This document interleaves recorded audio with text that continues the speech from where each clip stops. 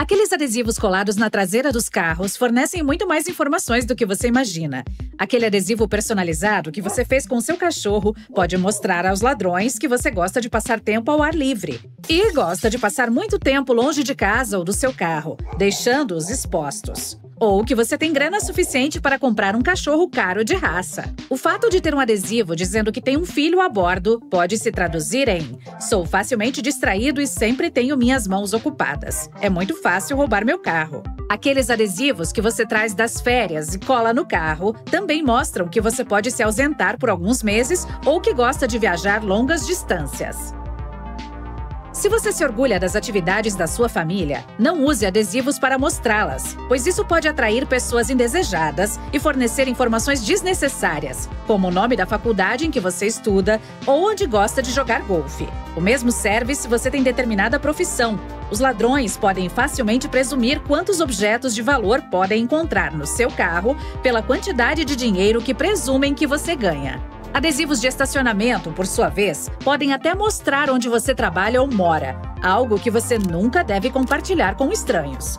Quanto mais seu carro for personalizado, mais você será lembrado. Nem sempre é uma coisa ruim, mas se você ofender alguém no trânsito, a pessoa poderá ficar mais inclinada a te denunciar para as autoridades se você tiver uma placa personalizada, uma cor de carro diferente ou muitos adesivos.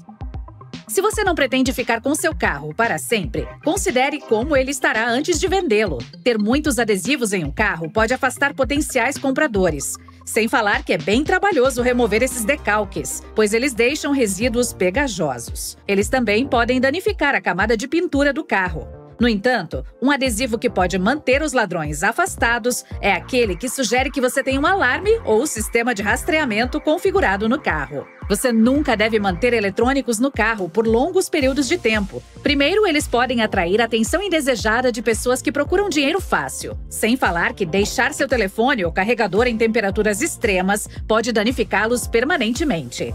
O fato de você usar protetor solar todos os dias é realmente louvável. Apenas lembre-se de não deixar o frasco no carro também. Deixar o protetor solar exposto ao sol pode reduzir seus efeitos, pois o superaquecimento faz com que as substâncias químicas sejam desativadas. Os especialistas recomendam que o protetor solar seja armazenado em temperaturas abaixo de 25 graus Celsius. Você deve até mesmo manter seus óculos para dirigir longe da luz solar direta. Certifique-se de colocá-los no porta-luvas ou levá-los consigo ao sair do veículo. A exposição à luz solar direta pode danificar as lentes e a armação de plástico ou metal, prejudicando seu ajuste e eficiência contra os raios solares. Se você já comprou spray de cabelo, tinta spray ou desodorante, provavelmente notou que todas essas latas têm recomendações de temperatura de armazenamento impressas nelas. É por isso que você nunca deve deixá-las expostas a temperaturas extremas no carro. Esses frascos podem expandir e explodir rapidamente, sem falar que o conteúdo pode ser altamente inflamável. Tente não deixar garrafas plásticas de água no carro também. Se estiver calor, você pode acabar consumindo substâncias nocivas como BPA, um composto químico usado na fabricação de vários tipos de plásticos. Ele pode ser transferido da garrafa para a água depois de algum tempo. É por isso que a água engarrafada tem uma data de validade. Não é que a água vá vencer. Isso está escrito na embalagem para que você saiba o prazo que a água estará segura para o consumo, protegida dos produtos químicos do plástico.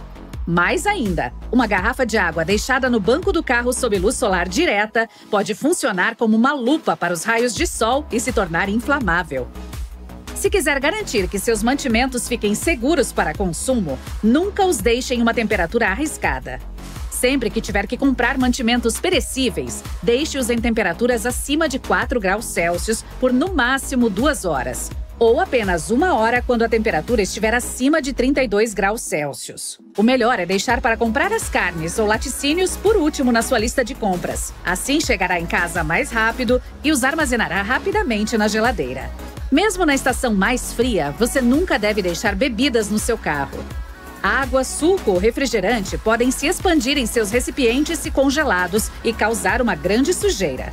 Eu sei que é muito mais confortável jogar suas roupas úmidas em uma sacola depois de sair da sauna ou da piscina.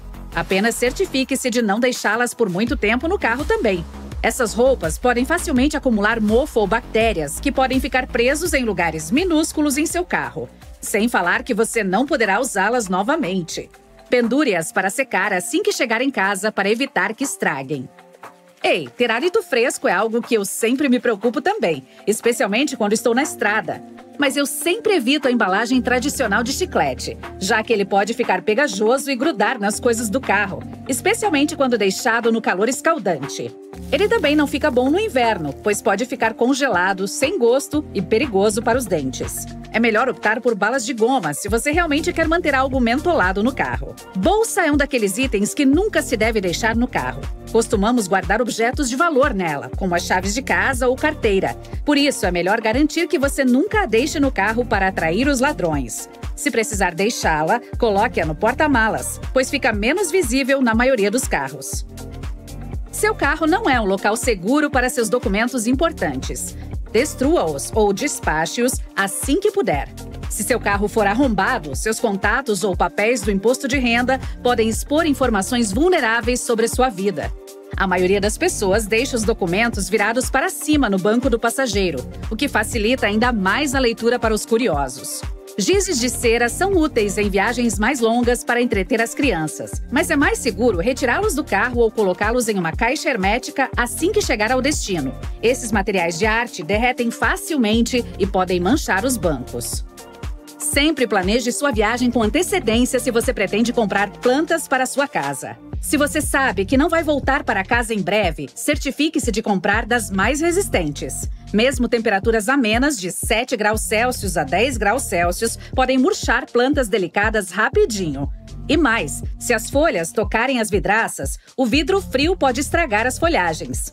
Mesmo que seja uma planta maior, não a transporte no porta-malas ou deixe-a para fora da janela. E se estiver muito frio, certifique-se de aquecer seu veículo antes de colocá-las dentro dele.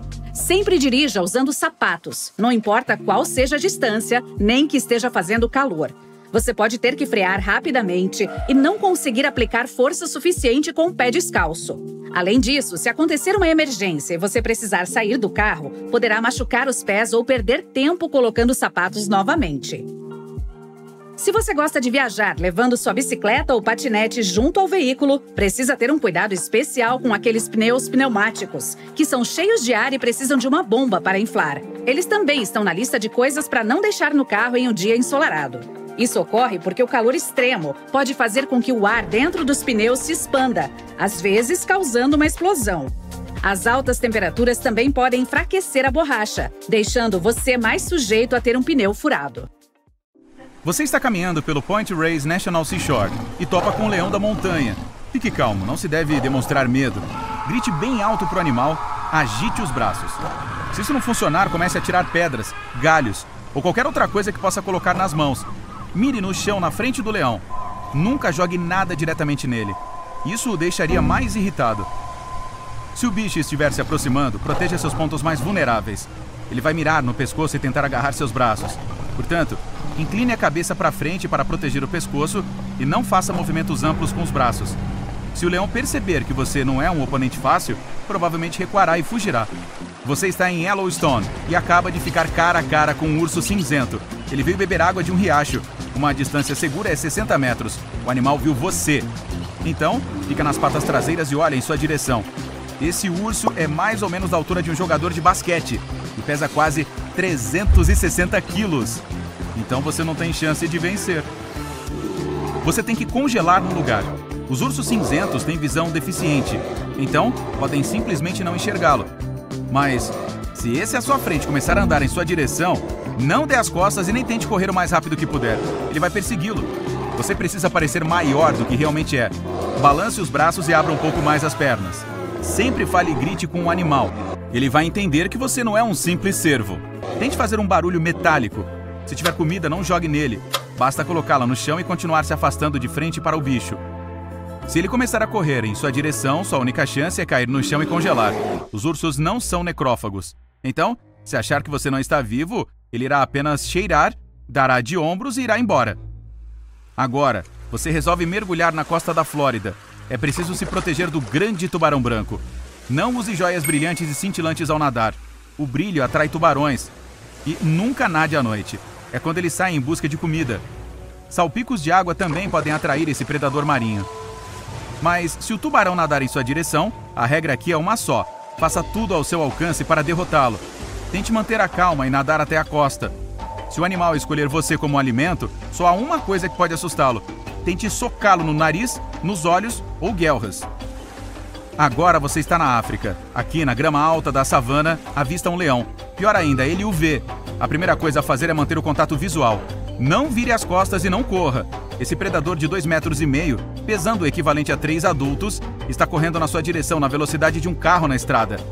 Mas ele para abruptamente e continua a olhar em sua direção. Os leões costumam fazer falsas investidas para assustar o oponente. Nesse ponto é preciso parecer muito maior do que realmente é. Abra os braços e faça barulho. Então o animal pode fazer outra ameaça. E se você ficar parado, ele vai perceber que é um oponente forte e irá em outra direção. A fêmea é muito mais perigosa que o macho. Se ela estiver protegendo os bebês, não vai parar e você não terá a menor chance. Seu Jeep Safari o leva para o próximo local. Você vê elefantes bebendo água pacificamente.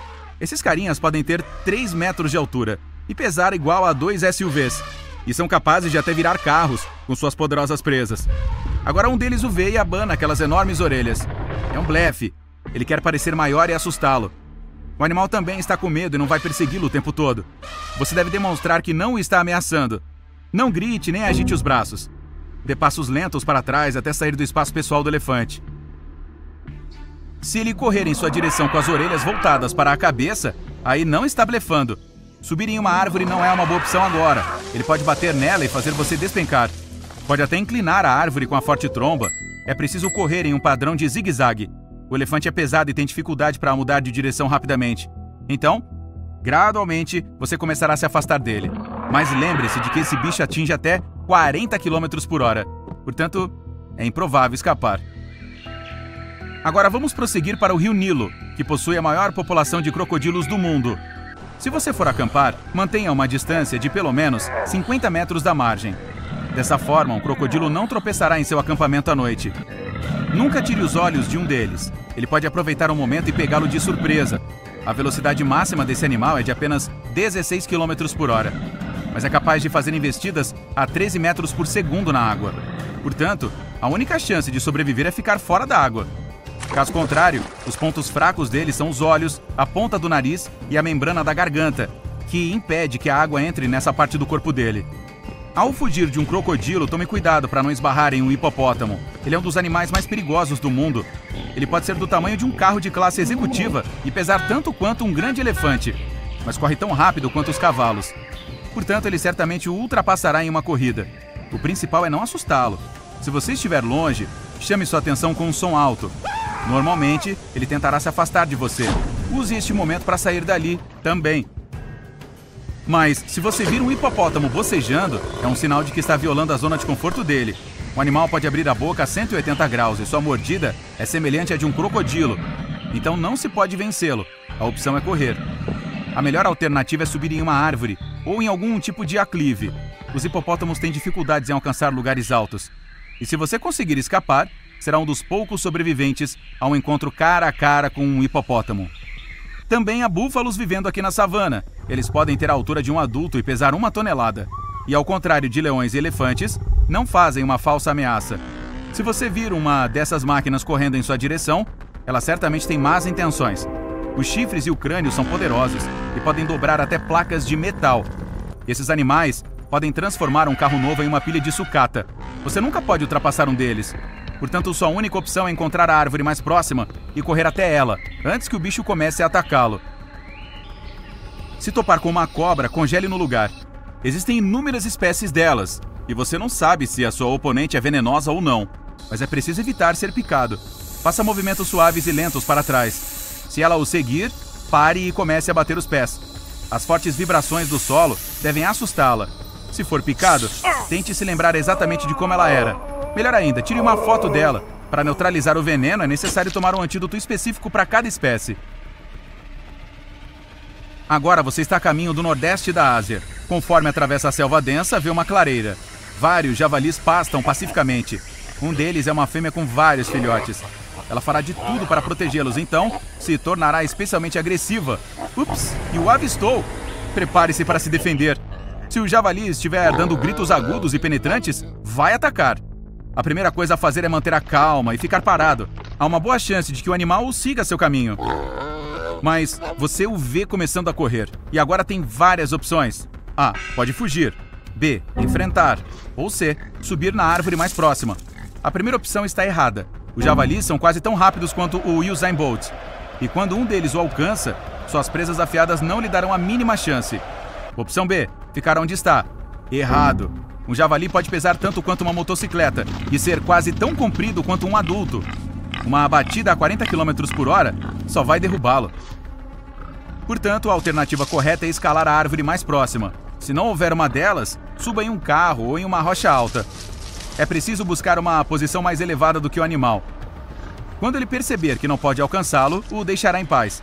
O mais importante é ficar longe desses animais e nunca tentar alimentá-los ou provocá-los. Desertos quentes e intermináveis parecem sem vida à primeira vista. Mas entre essas areias, você pode encontrar criaturas perigosas e às vezes assustadoras. Algumas podem causar apenas problemas de saúde, mas outras podem ficar em sua memória para sempre. Vamos conhecê-las, começando pelas mais perigosas e terminando com os verdadeiros pesadelos. Então, você está caminhando pelo deserto e vê um grande urso de pelúcia com as mãos abertas. E entende que provavelmente se trata de uma miragem, mas ainda assim se aproxima. Você estava certo. Não se trata de um brinquedo de pelúcia, mas de um cacto gigante. Há algo de estranho nele, graças a uma estranha penugem. Os galhos se assemelham aos braços de um ursinho de pelúcia. No entanto, não se trata de penugem, mas de milhares de agulhas finas, e elas são o motivo pela qual não é aconselhável se aproximar. O cacto é chamado de cholla e cresce nas áreas desérticas do Arizona e na parte norte do México. Não se preocupe, ele não o atacará, mas se agarrará à sua pele ou às suas roupas se você tocá-lo. Esse casaco de pele cria sombra e protege o cacto dos animais e do calor. Os ramos laterais são as partes mais importantes da planta, pois realizam a fotossíntese e acumulam uma grande quantidade de umidade em seu interior. Portanto, apesar de toda a ameaça, o cacto pode ser útil para os andarilhos do deserto. E o perigo aqui são as agulhas. Se você olhar mais de perto, verá que elas têm o formato de ganchos. Basta um toque e centenas de espinhos já estão em seu dedo. É muito difícil se livrar deles, que causam sensações dolorosas desagradáveis. Mas a coisa mais legal sobre essa planta é a maneira como ela se reproduz. Se clona em um novo local. Quando os animais e as pessoas passam e a tocam, ela libera um pequeno pedaço de si mesma junto com as agulhas. Assim que esse pedaço é jogado no chão, ele cria raízes e começa a crescer. O grau de perigo está aumentando o próximo monstro do deserto está correndo em nossa direção, e ele é um avestruz. Muitos pensam que esse animal é covarde e esconde a cabeça na areia. Você provavelmente mudará de ideia se tiver o azar de encontrar um deles. Geralmente, os avestruzes não são agressivos, mas você deve correr se chegar perto do ninho deles. Por outro lado, não conseguirá fazer isso porque essas aves se movem a uma velocidade de 70 km por hora seria necessário um carro para fugir delas, que correm e atingem o inimigo com o peito. Já houve casos em que avestruzes atacaram vans e causaram danos significativos a elas. Mas o principal perigo que essas aves apresentam são suas pernas poderosas com garras afiadas. Com elas, podem desferir golpes fortes e até mesmo derrotar um oponente deitado. Portanto, sim, se você vir um avestruz à distância, vá para o outro lado. Esse pequeno lagarto malhado vive no subsolo quase o tempo todo nos desertos áridos do sudoeste dos Estados Unidos e do noroeste do México. Às vezes, sai para procurar comida. Parece fofo, mas na verdade é um perigoso monstro de Dila. Sua pele grossa o protege de falcões, coiotes e outros predadores, mas sua principal proteção é o veneno. As cobras e aranhas injetam suas toxinas usando presas longas em forma de agulha. O monstro de Dila se agarra e mastiga a vítima para espalhar o veneno. E quando morde uma pessoa, é capaz de manter suas mandíbulas fechadas por um longo tempo. Livrar-se do animal é uma tarefa complicada. Quem experimentou os efeitos do veneno diz que a sensação é como se magma quente passasse pelas veias.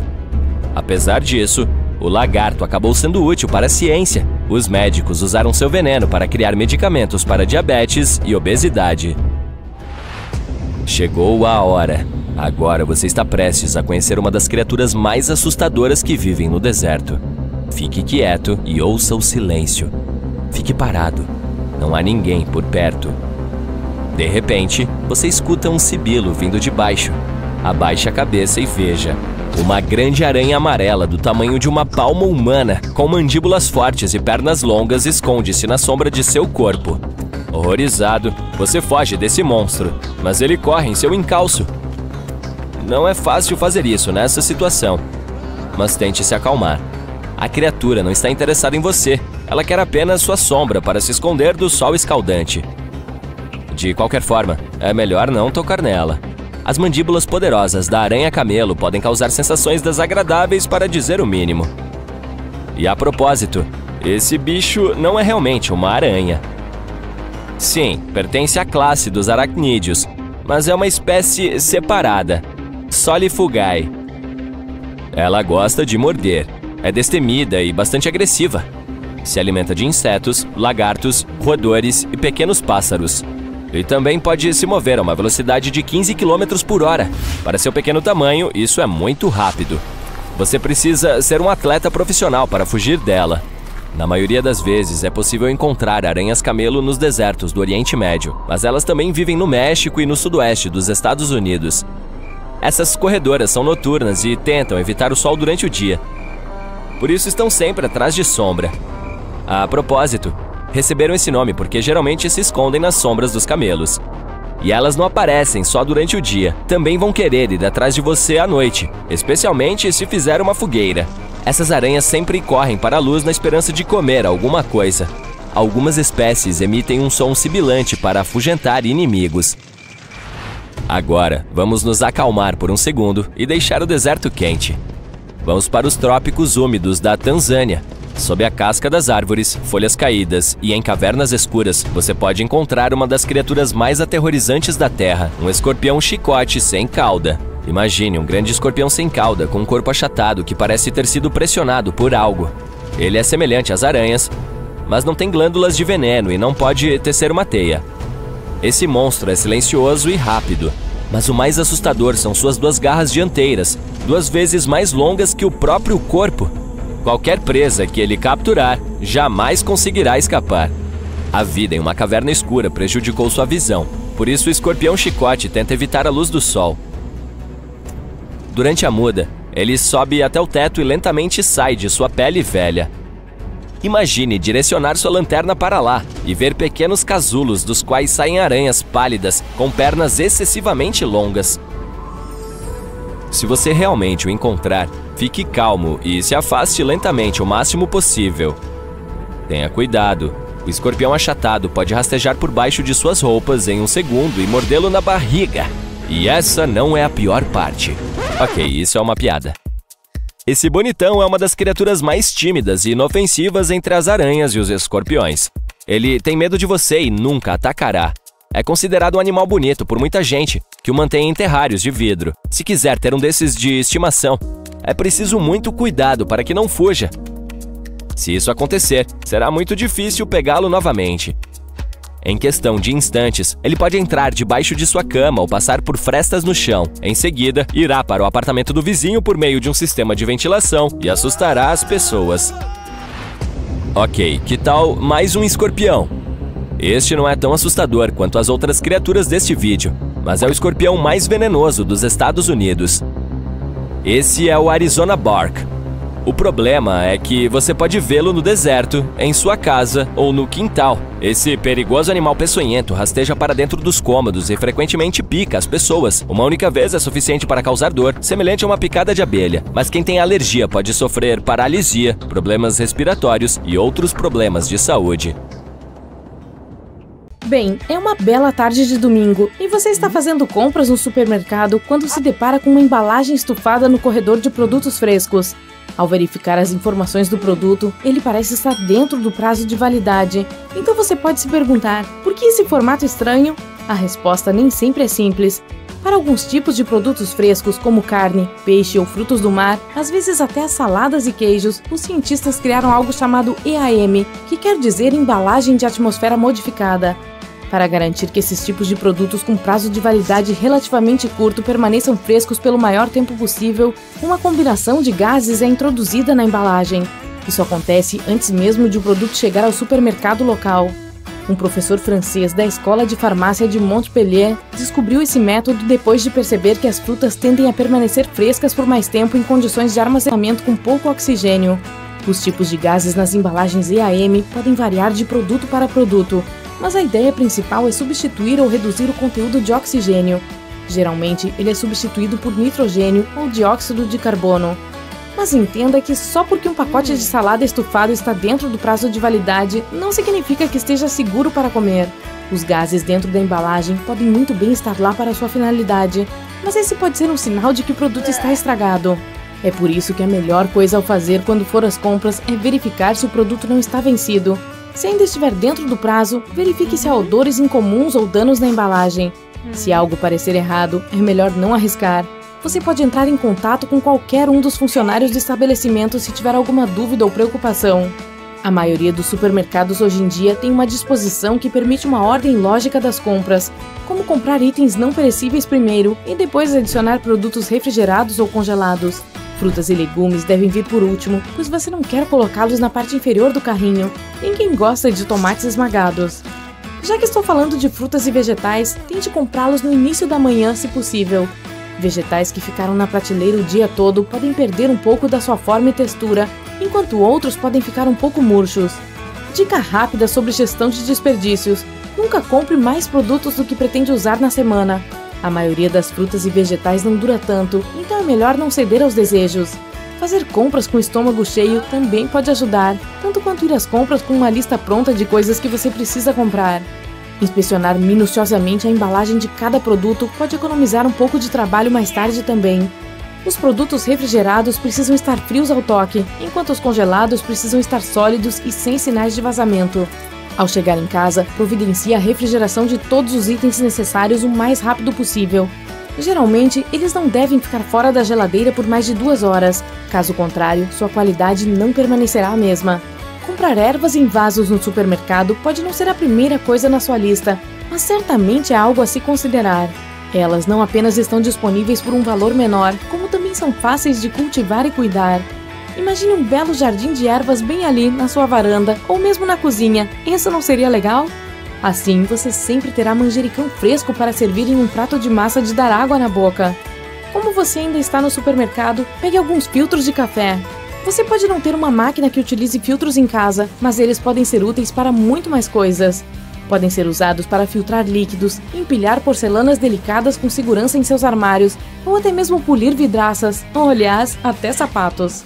Se suas frutas e legumes favoritos estiverem em oferta, mas comprar grandes quantidades significaria que eles seriam desperdiçados, considere congelá-los.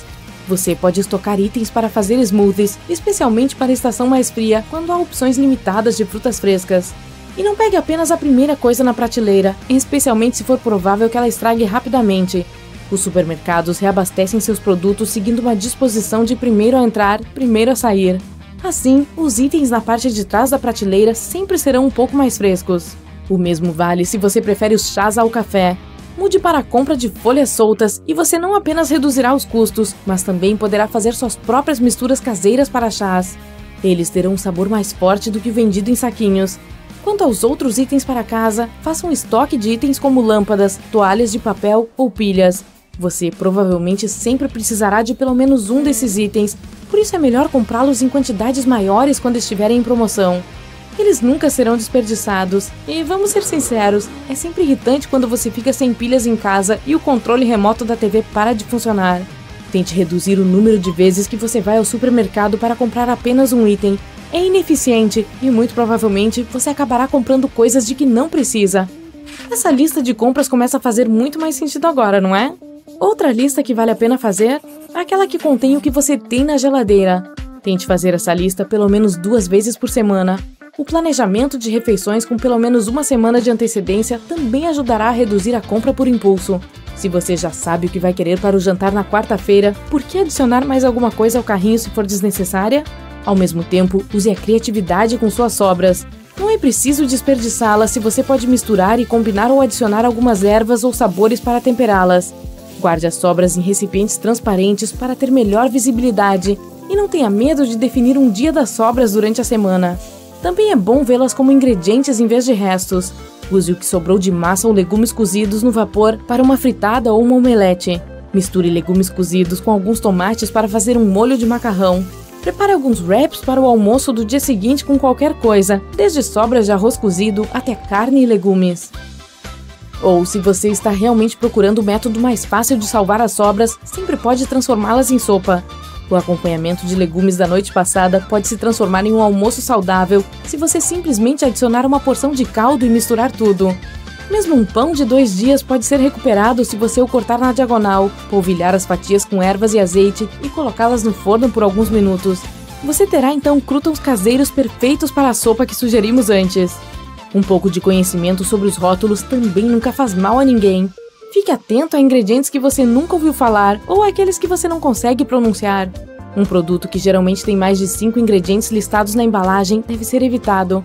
Até mesmo a maneira como você carrega suas compras no supermercado pode afetar como e o que você compra.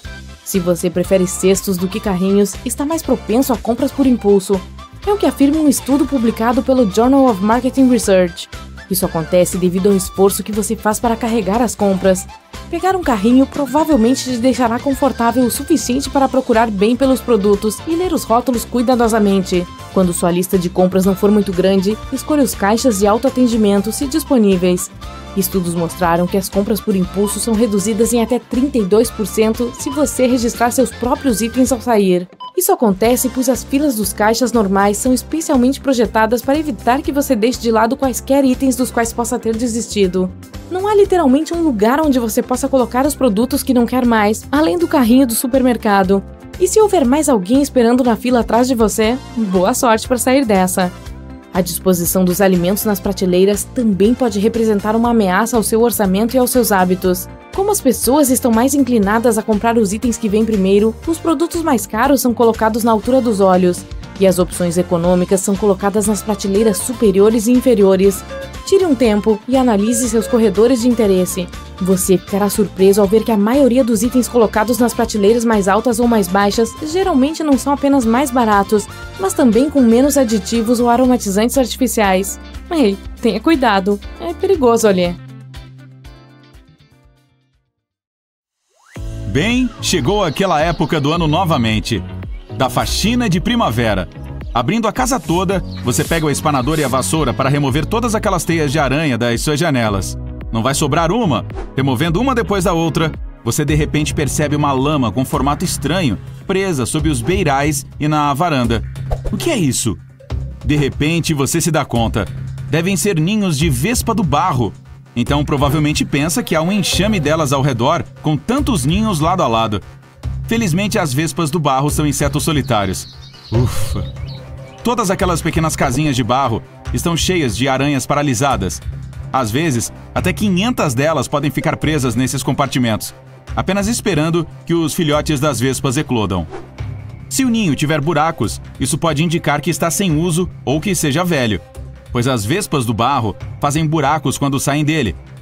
Se você for removê-los, é melhor esperar até a noite, quando elas não são tão ativas. Embora sejam muito tranquilas, não hesitarão em picar caso se sintam ameaçadas. Parece que alguém começou a construir um inseto, parou no meio do caminho e esqueceu qual parte vinha a seguir. O grilo toupeira é uma criatura que realmente parece de outro mundo.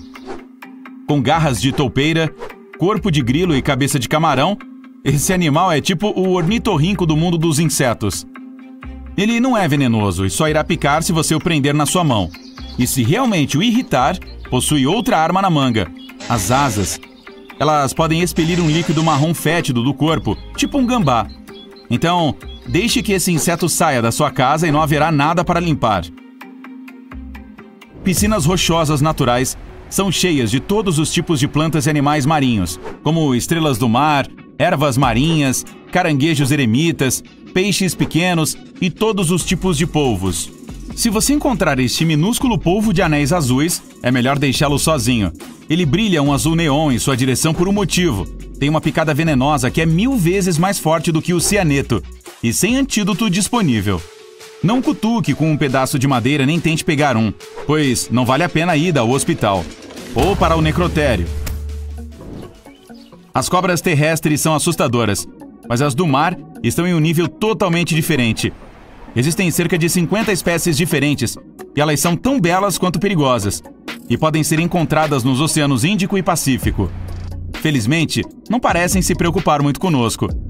A cobra marinha de Dubois é indiscutivelmente a mais venenosa dos oceanos. E a cobra marinha de nariz de gancho não fica muito atrás. Seu veneno faz a picada de uma serpente terrestre parecer um passeio no parque. É extremamente perigoso. Ainda bem que pode levar horas para causar algum sintoma em humanos, se elas conseguirem picar através da sua roupa de neoprene, claro. Se esta mosca pousar no seu braço ao ar livre, pode ser que você grite um pouco. Eu não posso julgar.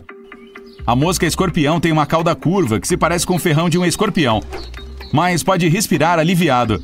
Ela só é usada para acasalamento. A mosca também tem uma cabeça longa em forma de bico que é utilizada para se alimentar depois de roubar insetos das teias das aranhas. Para encontrar o parceiro perfeito, ela adora dar o equivalente a uma caixa de chocolates e flores, só que a dela é a saliva. Hum, que romântico! Se você estiver pela África, pode nem ver este grande pássaro se não prestar atenção. O bico de tamanco irá casualmente ficar parado enquanto você passa por ali. Ele alcança até um metro e meio de altura e tem envergadura de dois metros e meio. Seu aspecto parece com o de um grande predador, embora ele seja tudo menos isso. Conhecido como um dos pássaros mais lentos, quase como uma estátua, o bico de tamanco come peixes perto da superfície da água, sem nenhuma preocupação no mundo. Essa ave não tem medo de humanos. Embora não se aproxime naturalmente para conversar sobre o tempo, nos permite chegar perto o suficiente para tirar algumas fotos. Agora, se você ouvir um pequeno rangido enquanto estiver no jardim, pode ser um rato, um esquilo ou um besouro rinoceronte avisando que você está perto demais. Ele adora fazer barulho quando incomodado. Com um chifre gigante e assustador no topo da cabeça, pode até parecer que ele é capaz de se defender com esse acessório, mas isso não é possível. O chifre serve apenas para remover folhas e galhos do caminho e para impedir que outros machos se aproximem da fêmea. Esse besouro não só tem um chifre na cabeça, como também uma força hercúlea, capaz de levantar 850 vezes o seu próprio peso. Isso é como você ou eu levantando 65 toneladas ou 11 elefantes. Ei, vamos tentar? Ah, melhor não. Encontrado principalmente na China, o pequeno servo de topete parece adorável com seu tufo de cabelo. Isso é até que ele se vire. Ah, é um servo vampiro! Felizmente, este animal não quer sugar o seu sangue nem usar uma capa.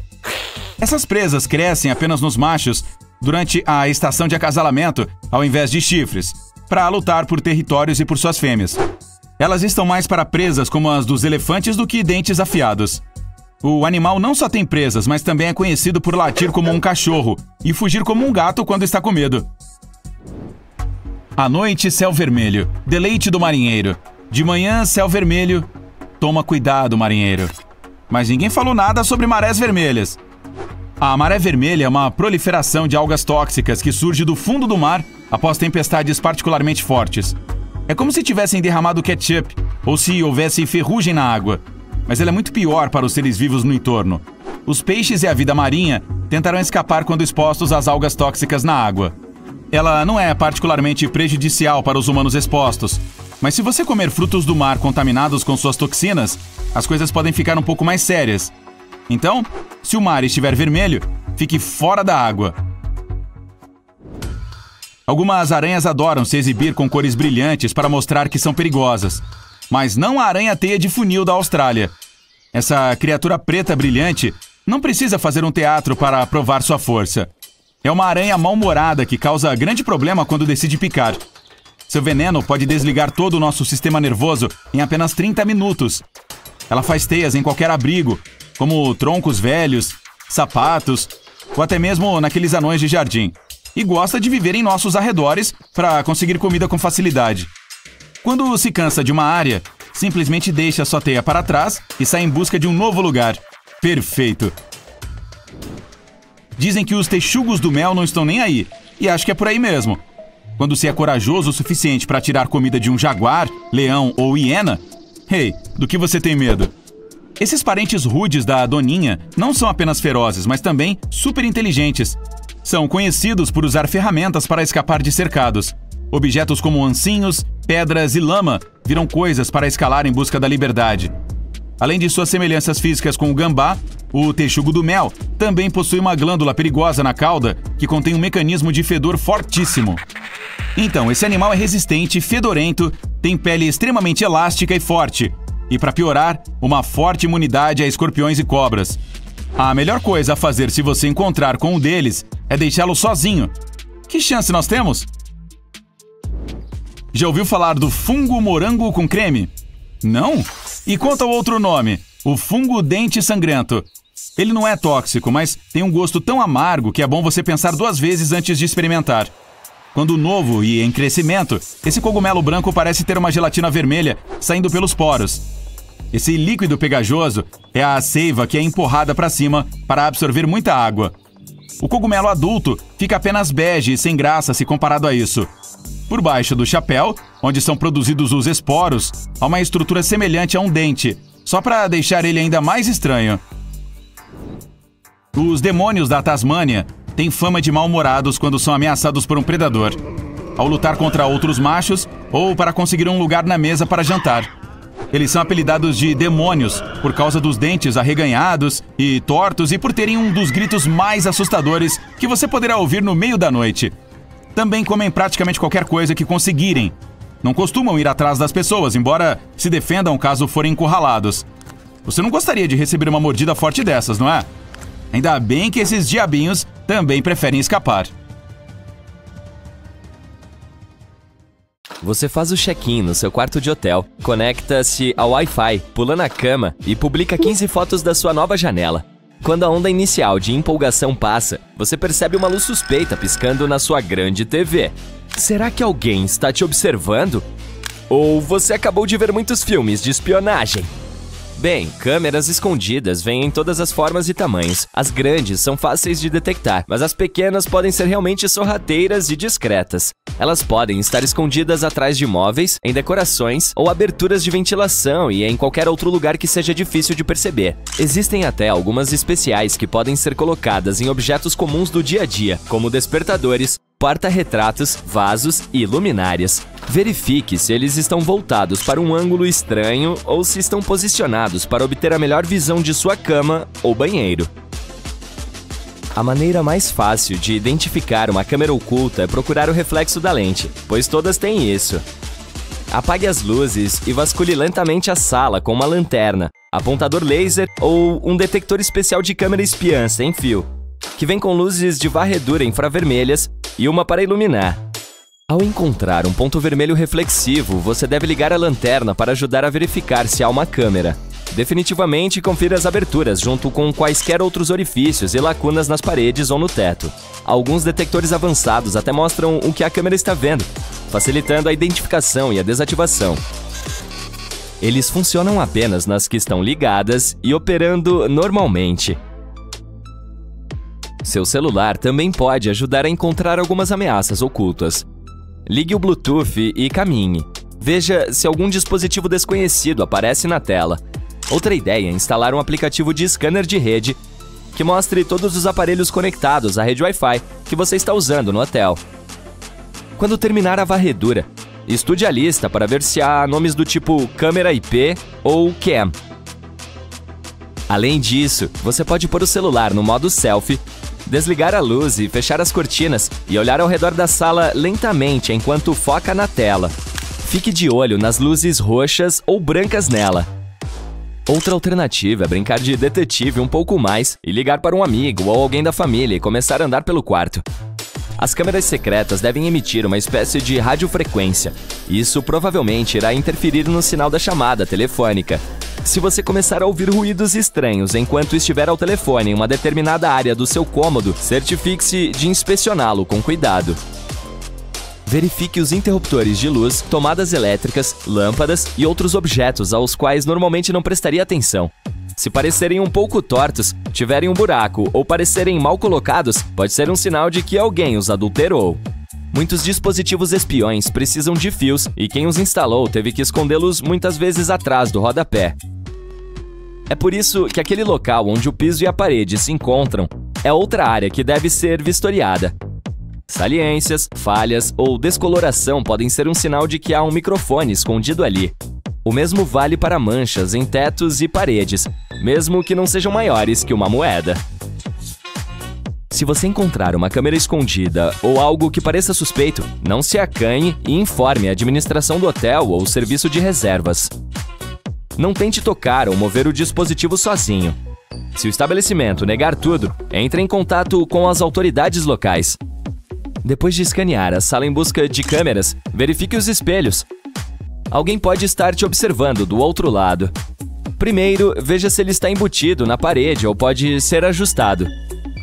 Se for semi-transparente, ficará encaixado na parede. Você pode fazer um teste simples para testar o espelho.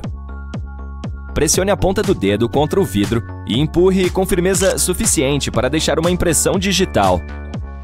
Estude essa impressão. Se houver um pequeno espaço entre ela e onde deveria estar o vidro, é apenas um espelho. Em um semi-transparente, não haverá folga. Outra forma de testar se ele é semi-transparente é simplesmente dar umas batidinhas no vidro. Se alguém estiver observando você do outro lado, o objeto emitirá um som vazio. Um espelho duplo precisa de uma luz mais brilhante do outro lado do que do seu. Aproxime-se dele e coloque as mãos em concha ao redor dos olhos Viu alguma luz atrás? Nesse caso, pode haver alguma audiência indesejada. Antes de sair do quarto ou ir para a cama, certifique-se de que todas as portas estejam bem trancadas. Por porta, entenda não apenas a da entrada, mas também a que dá para o terraço, se houver. Você pode levar uma fechadura portátil para segurança extra se for ficar no quarto. E também iniciar um pequeno projeto de bricolagem enrolar um cinto ou uma alça de bolsa em volta do braço que fecha a porta. Aperte-o e enrole-o várias vezes para obter uma camada extra de proteção.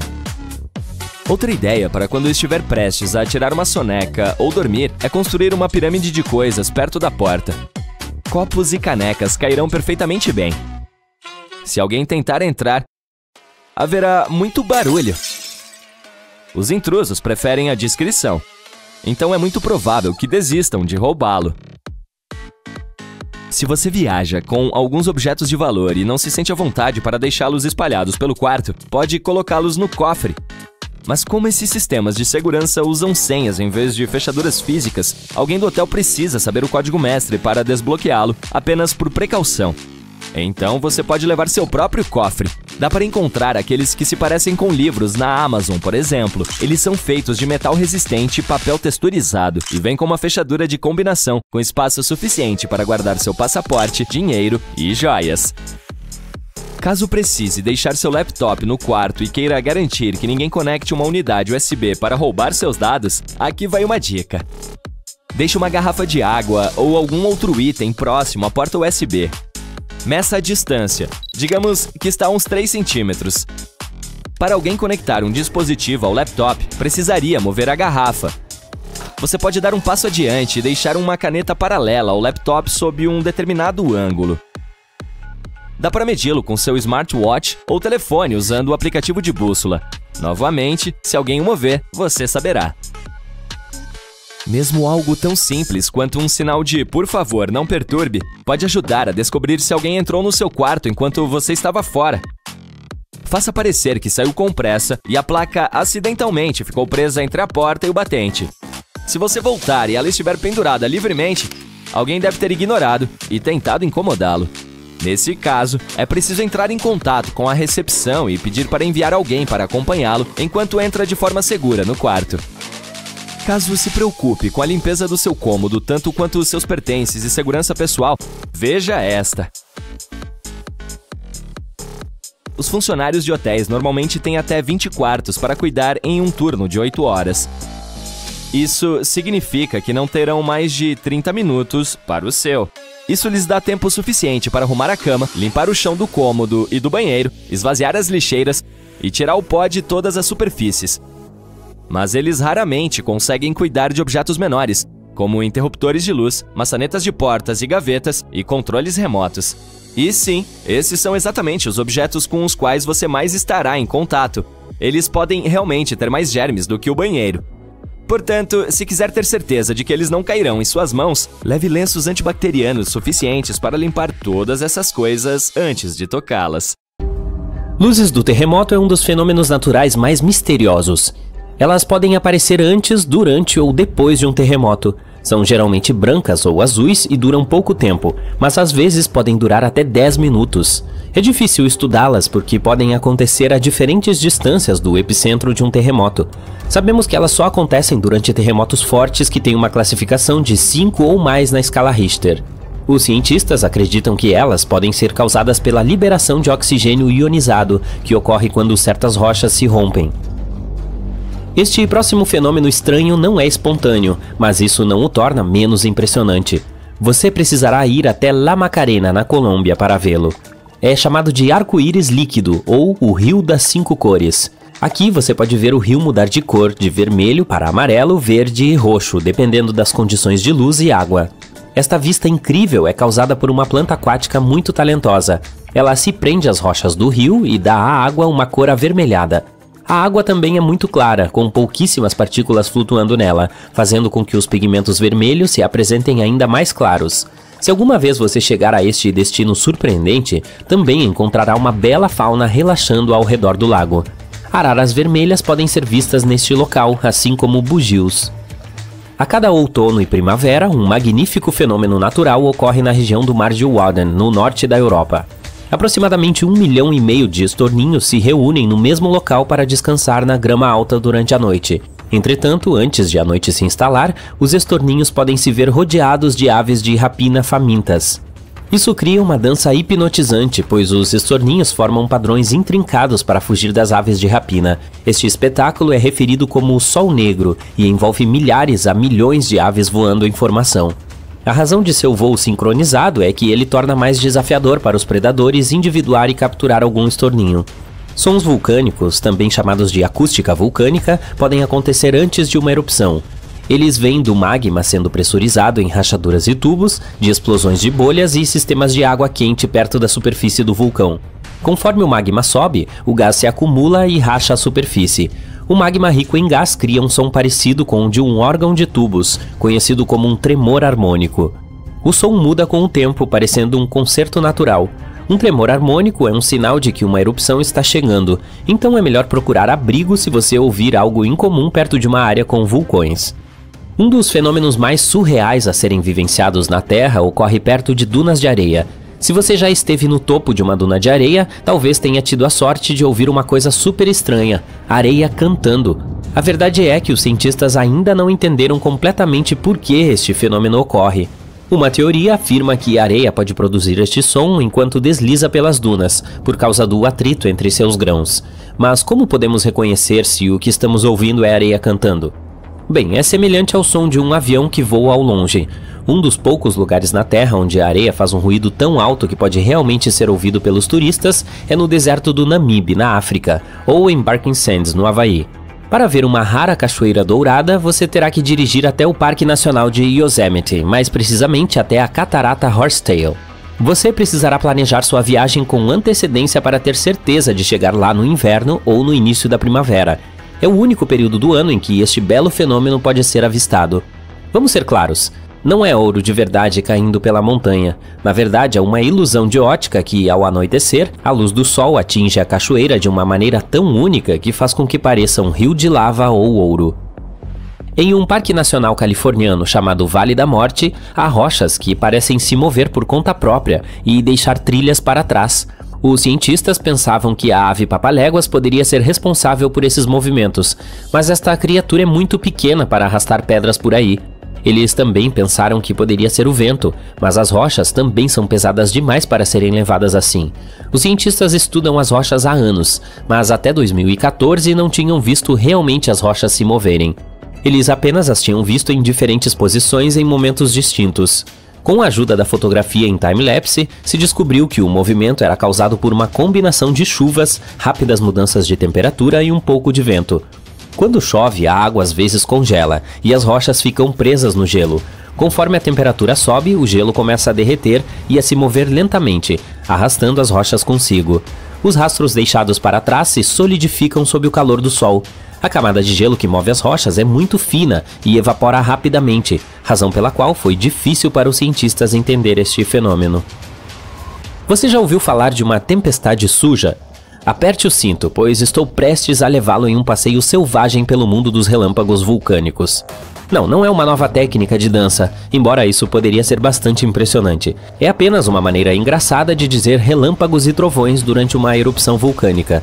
Quando uma trovoada regular acontece, partículas positivas e negativas colidem e criam uma grande faísca de relâmpago. E o estrondo que ouvimos? Isso é apenas um trovão.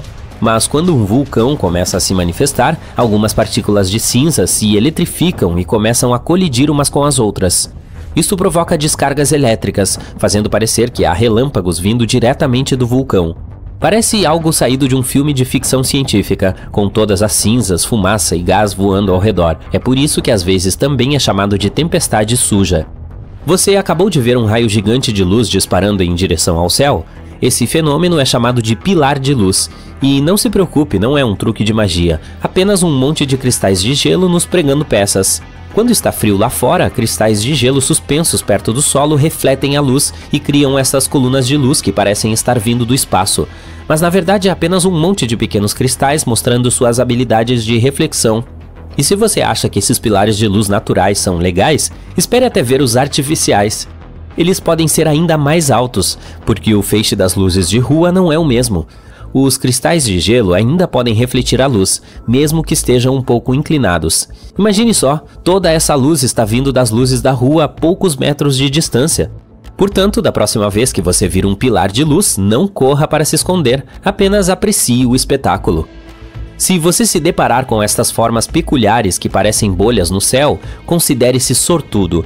Essas preciosidades são chamadas de nuvens mamatos e não são nuvens corriqueiras. A maioria das nuvens é formada quando o ar sobe, fazendo com que pareçam grandes bolas de algodão. Mas as nuvens mamatos são formadas quando o ar desce, fazendo com que pareçam de cabeça para baixo. O ar acima e abaixo dessas nuvens cria um pouco de turbulência, e antes que você perceba, partículas de nuvens formam bolhas perfeitamente redondas. Só não fique olhando para elas por muito tempo, elas frequentemente sinalizam que uma tempestade está a caminho. O que temos aqui?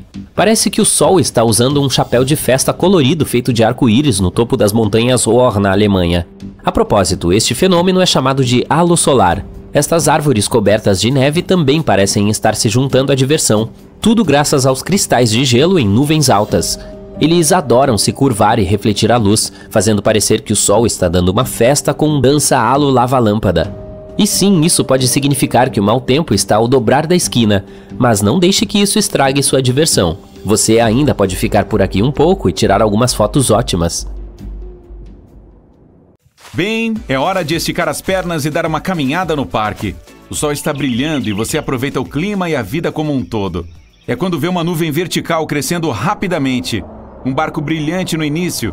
Ela vai se aproximando assustadoramente rápido, ficando densa e escura. O céu vai escurecendo e uma rajada de vento sopra o chapéu da sua cabeça. E então seu cabelo começa a ficar em pé. Essa é a sua deixa para correr e salvar sua vida. Você está prestes a ser atingido por um raio. Neste exato momento, cargas positivas estão subindo pelo seu corpo. Elas se dirigem para alcançar a parte de carga negativa da tempestade. Se você não reagir rapidamente, essas cargas se encontrarão e isso acabará mal. Se não houver nenhum lugar onde possa se esconder, agache-se e tente ficar menor do que os objetos ao seu redor. Não deite no chão, pois ele pode estar molhado e, portanto, ser um ótimo condutor de eletricidade. Existem também outros sinais que indicam perigo durante uma tempestade com raios. Suas palmas das mãos podem começar a suar você pode ouvir estalos bizarros, zumbidos ou sons de vibração vindos de objetos metálicos próximos. Sua pele pode começar a formigar. Pode sentir um estranho gosto metálico na boca. Se não estiver mastigando papel alumínio, cuidado. Além disso, pode ser que sinta cheiro de cloro. Isso é ozônio. As cargas elétricas dividem as moléculas de nitrogênio e oxigênio, que são os principais gases que formam a atmosfera, em átomos separados. Quando esses átomos se juntam novamente, alguns deles produzem moléculas compostas de três átomos de oxigênio, que é o ozônio. Você talvez sinta o cheiro dele durante uma tempestade, pois as correntes descendentes de ar o trazem de grandes altitudes até o nível do seu nariz. Também é possível saber a proximidade de uma tempestade medindo o tempo entre ver o relâmpago e ouvir o trovão. Cada cinco segundos representam cerca de um quilômetro e meio. O céu sobre sua cabeça vai escurecendo e ficando assustadoramente verde. Algo acerta sua bochecha. Ai! Isso dói! Ao pegar o objeto que o atingiu, você vê que é uma enorme pedra de granizo. Mas não está tão frio lá fora e não está chovendo. Você percebe como tudo está parado, quieto. Não há vento algum. Isso faz pensar na calmaria que antecede uma tempestade. E, de fato, logo você ouve um barulho. Ela está se aproximando rapidamente e o som vai ficando muito alto, como se um trem de carga estivesse se movendo na sua direção. Sei que não é um trem, é um tornado e você quase não tem tempo para escapar. Não dá para ver o funil por trás da nuvem de destroços, mas não tem como confundir essa coluna giratória de ar com qualquer outra coisa. Se o tornado o pegar na estrada, fique o mais longe possível do carro. Isso evitará que o veículo seja arremessado em sua direção. Encontre uma vala, deite-se nela e cubra a cabeça. Se estiver dentro de casa, afaste-se das janelas e se esconda no subsolo se possível. Agora você está à beira-mar, caminhando pela orla e curtindo uma brisa suave. De repente, o chão começa a tremer sob seus pés. Deve ser um terremoto. A próxima coisa estranha que percebe é a água recuando da praia a uma velocidade vertiginosa. Ela deixa o fundo do oceano exposto, a recifes e até peixes. É quando você ouve um barulho distante. É um tsunami são só alguns minutos para salvar sua vida. Vá para um local alto imediatamente, pois uma onda gigante já está acelerando em direção à costa. Mas essa não é a única maneira de um tsunami se aproximar. Ele não necessariamente vem estourando na costa como uma série de ondas enormes. Um tsunami pode parecer como uma maré quando sobe rapidamente. Isso geralmente acontece em paralelo a uma forte turbulência subaquática. Ela puxa as pessoas para baixo da superfície e arremessa objetos pesados ao redor. Você também pode notar a água do mar borbulhando, turbilhonando e criando padrões bizarros. Eis um outro sinal claro de que um tsunami está chegando. Seu cachorro está inquieto. Ele fica arranhando a porta de entrada, vagando pelo apartamento e tentando se esconder em um canto. Normalmente calmo e dócil, o cão está agora uivando e latindo. O tempo também está louco nos últimos dias. Está quente e frio 24 horas depois. Além disso, você notou que o riacho, perto de sua casa, ficou mais movimentado, com as corredeiras borbulhando. Só quando os copos começam a tilintar no armário você percebe o que isso significa. O barulho é produzido por choques, que são minúsculos terremotos que antecedem o evento principal. Os terremotos costumam ocorrer em grupos. Se houver vários deles fracos, um muito maior pode estar a caminho, Algum tempo antes de o desastre acontecer, é possível notar luzes azuis bizarras. Algumas parecem estar vindo do solo, outras estão pairando no ar. Essas são as chamadas luzes de terremoto, emitidas por rochas sob grande estresse. Podem ser vistas dias ou alguns segundos antes de o solo começar a tremer. Ao mesmo tempo, alguns especialistas duvidam da existência dessas luzes. Se você acha que um terremoto está prestes a acontecer e tem um peixe-bagre no seu aquário, preste atenção no comportamento dele. Os cientistas provaram que a espécie pode reagir a tremores de terra. Estes peixes ficam inquietos quando a atividade sísmica é alta. Alguns insetos são capazes de sentir uma tempestade se aproximando. Eles se preparam para o desastre natural, parando qualquer movimento. É por isso que, se você notar que muitos insetos ao seu redor parecem inertes, procure um abrigo. Já as abelhas podem prever fortes temporais. Elas começam a trabalhar muito mais um dia antes de começar a chover. As ondas quadradas ocorrem quando dois padrões de ondas diferentes se chocam. Esse fenômeno parece incrível, mas só se você estiver vendo da costa. Nem pense em entrar na água para brincar nessas ondas. Naquele local existem correntes cruzadas que podem facilmente puxar até mesmo um nadador habilidoso para baixo da superfície. E se você vir ondas agitadas e selvagens, carregando detritos do oceano e algas marinhas, fique fora da água também. Pode ser um sinal de uma forte corrente de retorno. Ela pode levá-lo para longe. Se você vir algo verde fedorento na superfície de um lago ou do mar, fique longe da água. Pode ser uma perigosa proliferação de algas. Você não terá como dizer se é tóxica ou não à primeira vista. É por isso que é melhor evitá-la completamente. Três a quatro dias antes da chegada de um furacão, o mar ou a superfície do oceano podem aumentar em até 2 metros. As ondas atingem a costa a cada 9 segundos. Quanto mais próximo o furacão, mais rápido elas quebram contra a costa. E também ficam mais altas, às vezes chegando a até 5 metros. O céu está coberto de nuvens leves e fofas. Aproximadamente 36 horas antes de o furacão atingir a costa, a pressão atmosférica começa a cair. Depois disso, o vento acelera. Nuvens finas e parecidas com cabelos aparecem no céu. 18 horas antes de o furacão atingir a costa, o céu se abre e começa a chover. A água da chuva muitas vezes inunda áreas baixas, chegando a 4 metros e meio. Quando o furacão está a 12 horas de distância, um forte vendaval começa a trazer detritos soltos. Seis horas antes, a velocidade do vento já é de 145 km por hora. Isso é forte o suficiente para quebrar e até arrancar árvores, arremessar detritos grandes e virar carros. A propósito, digamos que você esteja navegando e alguns tubarões estejam circulando o seu barco. Fique de olho neles. Se os predadores de repente o deixam em paz e se dirigem para águas profundas, pode significar que um furacão esteja se aproximando. Volte para a terra firme o mais rápido que puder e avise os demais. Se durante um período de chuvas fortes você ouvir um som estrondoso, pode ser uma enchente se movendo na sua direção. Se estiver perto de um rio no momento, poderá haver destroços descendo com a correnteza. A água pode estar mudando de cor e ficando mais turva e escura. Esses sinais devem ligar um sinal de alerta na sua cabeça. Se o seu pressentimento estiver certo, não há tempo a perder. Tente fugir daquele lugar o mais rápido possível, pois inundações repentinas costumam ser letais. Se estiver na floresta, preste atenção na água dos riachos, córregos e rios.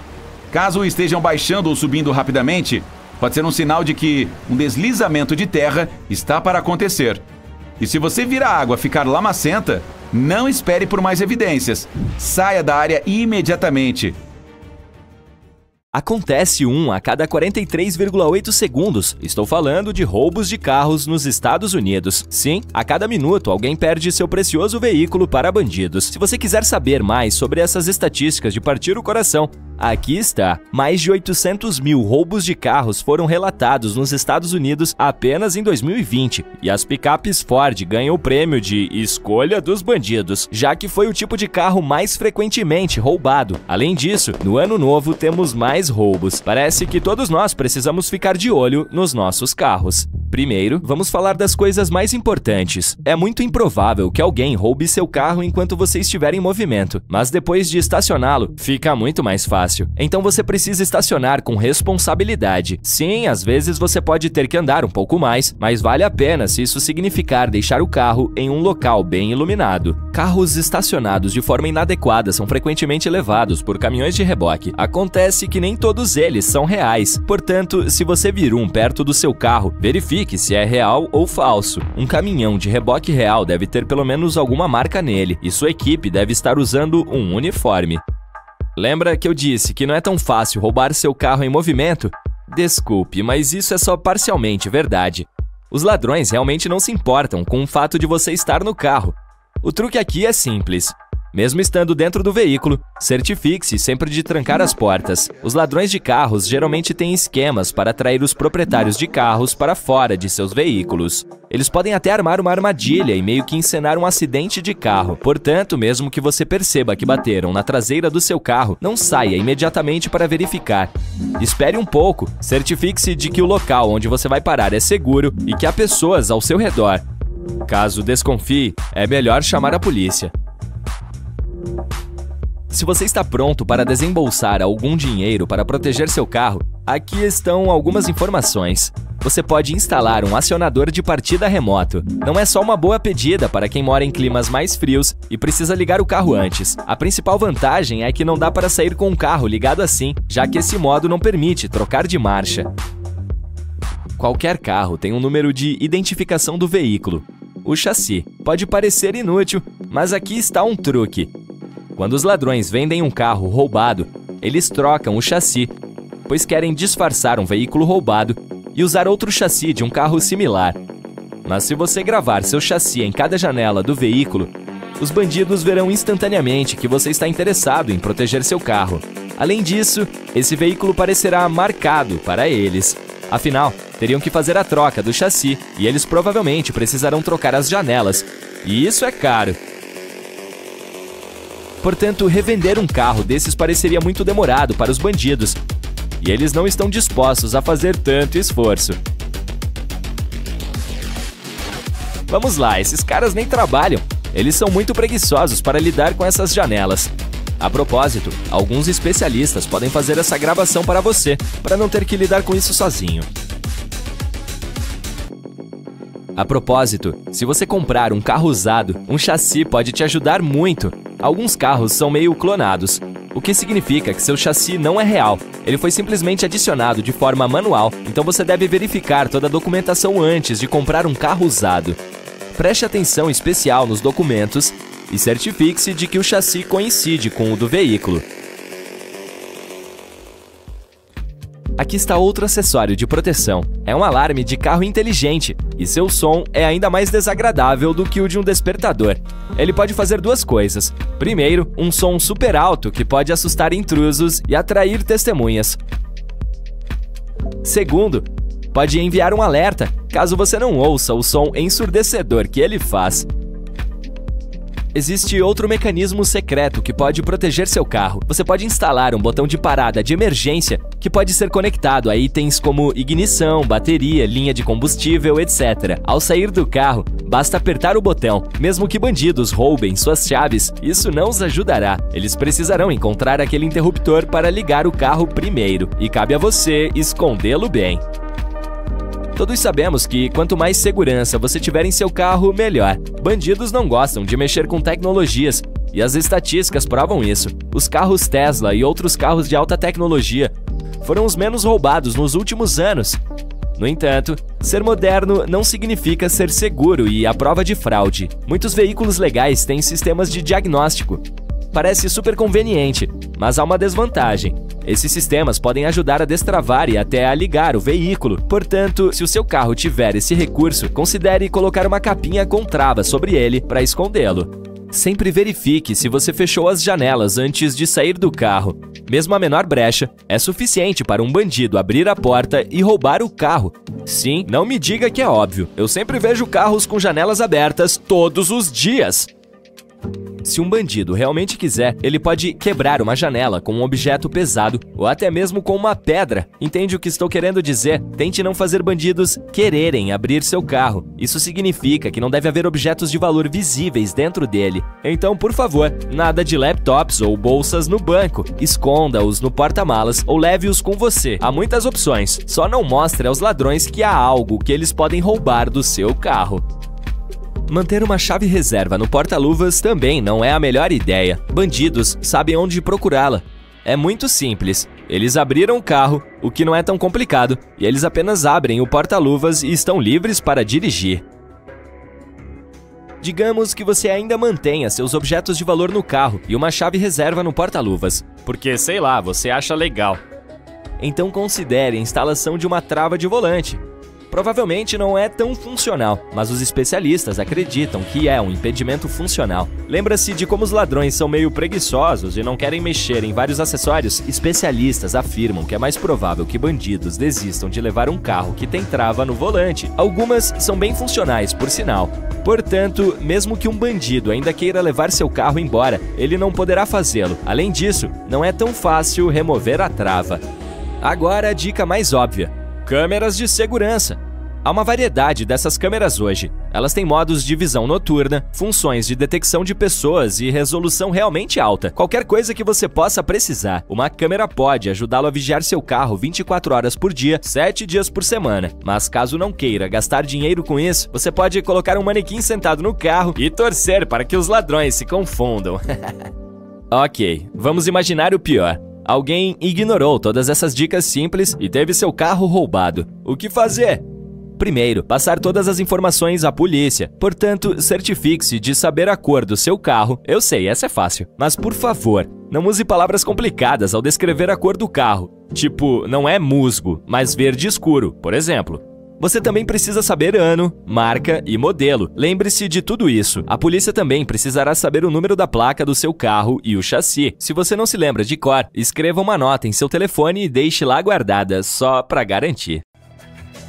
Opa, mais um roubo acabou de acontecer nos Estados Unidos. Espere outros 22,6 segundos e teremos mais um. Ei, não precisa se preocupar com a sua propriedade. Temos algumas dicas para proteger a sua casa. Um simples adesivo pode contribuir muito para a segurança do seu lar. Por exemplo, é possível usar um adesivo que diz que você tem um sistema de segurança doméstico, mesmo que não tenha. Pode não parecer convincente o suficiente, mas os assaltantes preferem não se arriscar. Mais uma dica: certifique-se de que o adesivo pareça real. Uma placa improvisada não servirá. É melhor desembolsar algum dinheiro e pegar um adesivo que pareça verdadeiro.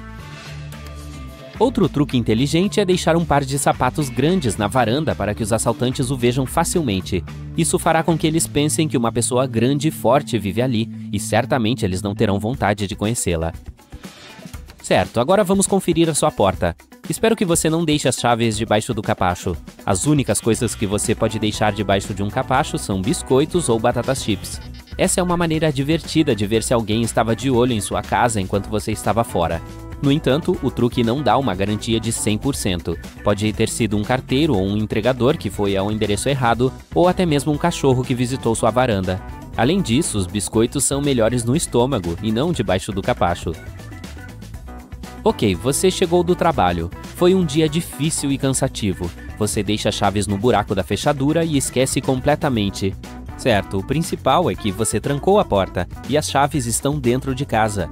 Mas quem disse que assaltantes não estão nos arbustos querendo invadir a sua casa? Tecnicamente, pode ser impossível inserir uma cópia e entrar se houver uma chave no buraco da fechadura. Mas esses caras estão bem equipados e têm toda uma variedade de ferramentas para remover a chave da fechadura. Você sabe o que acontece a seguir. Eles podem se infiltrar em sua casa silenciosamente como ninjas e pegar todos os seus objetos de valor enquanto você dorme em paz. Uma fechadura que só pode ser fechada por dentro e não pode ser aberta por fora pode ser uma boa solução. Ao se mudar para um novo endereço, mesmo que alugado, troque as fechaduras. Quem sabe quantas cópias dessa chave existem? E você nunca sabe quem morava lá antes de se mudar. Além disso, se por algum motivo você acidentalmente deixou suas chaves na porta da frente pelo lado de fora por algum tempo, a melhor coisa a fazer é trocar a fechadura. Sim, provavelmente nada de ruim vai acontecer, mas ainda assim, segurança nunca é demais. Além disso, você não só deve parar de deixar as chaves na porta, mas também não deixá-las à mostra. Talvez seja melhor guardá-las na sala de estar em vez de mantê-las perto da porta de entrada. Às vezes, os assaltantes podem usar não apenas a porta, mas a janela também. Tenha cuidado com o seu lixo, especialmente se você jogar fora algumas embalagens de coisas caras. Não deixe os ladrões saberem o que você comprou e quanto você pagou. Além disso, seu lixo pode conter algumas informações essenciais sobre seus dados pessoais, detalhes do cartão de crédito e muito mais.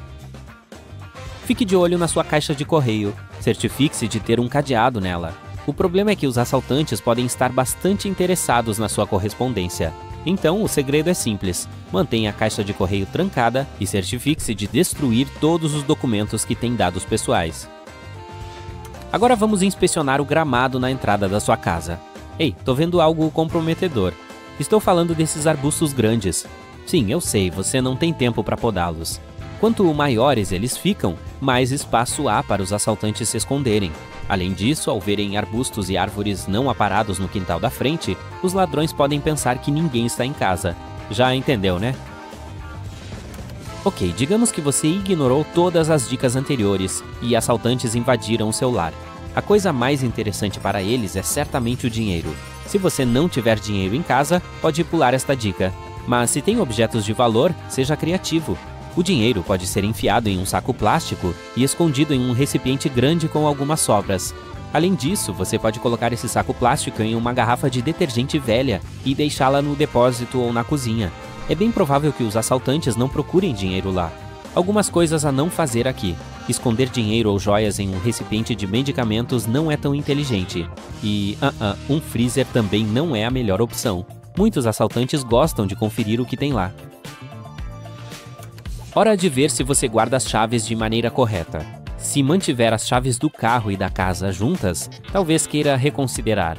Primeiro, imagine que você as perca e os assaltantes de alguma forma saibam onde você mora. Eles não apenas pegarão o que querem, mas também terão um veículo para transportar as recentes aquisições. Fique de olho nas chaves da sua garagem, especialmente se for possível entrar em sua casa por lá. Mesmo que não seja possível, quem disse que não há objetos de valor na garagem? Não há limites para os assaltantes. Eles podem entrar em casas até mesmo por pequenas janelas. A razão pela qual eles preferem portas é que é a maneira mais segura, já que ao se apertar para passar por uma janela, eles podem se machucar. Não que eles estejam super preocupados com isso. O problema é que, ao se machucar, eles deixam o DNA ali e podem ser rastreados. No entanto, os bandidos têm cuidado para não deixar rastros. Por exemplo, um relatório da Inglaterra afirma que apenas cerca de 3% dos assaltantes deixam evidências forenses. Para se proteger à noite, existem várias opções. Número 1. Insira um clipe de papel grande ou um grampo no buraco da fechadura. Você pode usar um par de chaves sobressalentes se as tiver. Dessa forma, você tornará extremamente difícil, se não impossível, que os assaltantes usem cópias de chaves. Número 2. A barricada é uma opção. Pode ser uma cadeira pesada, uma estante de livros, o que você quiser. Por que não, se isso faz você se sentir seguro? Se a sua porta abrir para fora, um bloqueador de porta pode fazer um ótimo trabalho.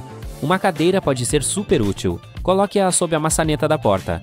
Não é o sistema de segurança mais eficaz, mas pelo menos faz o que deve fazer. Unir as maçanetas ou trincos das portas também pode ser uma opção. Uma câmera de segurança falsa pode protegê-lo durante o dia e a noite. Os assaltantes não são tão destemidos quanto parecem. Se você tiver uma câmera de verdade, certifique-se de que os bandidos não a desativem. Então, coloque-a em algum lugar de difícil acesso. Se você está pronto para desembolsar um pouco de dinheiro para sua proteção, então o sensor de movimento é exatamente o que você precisa. Os bandidos gostam de lugares mal iluminados. Uma vez que se aproximam do lugar, eles serão assustados pela luz brilhante. Essa solução funciona desde que os assaltantes saibam que você está em casa. Caso eles tenham certeza de que você está fora, é muito menos eficiente. Temporizadores de TV e rádio são outro truque. Com a ajuda deles, você pode fingir que está em casa, mesmo que não esteja.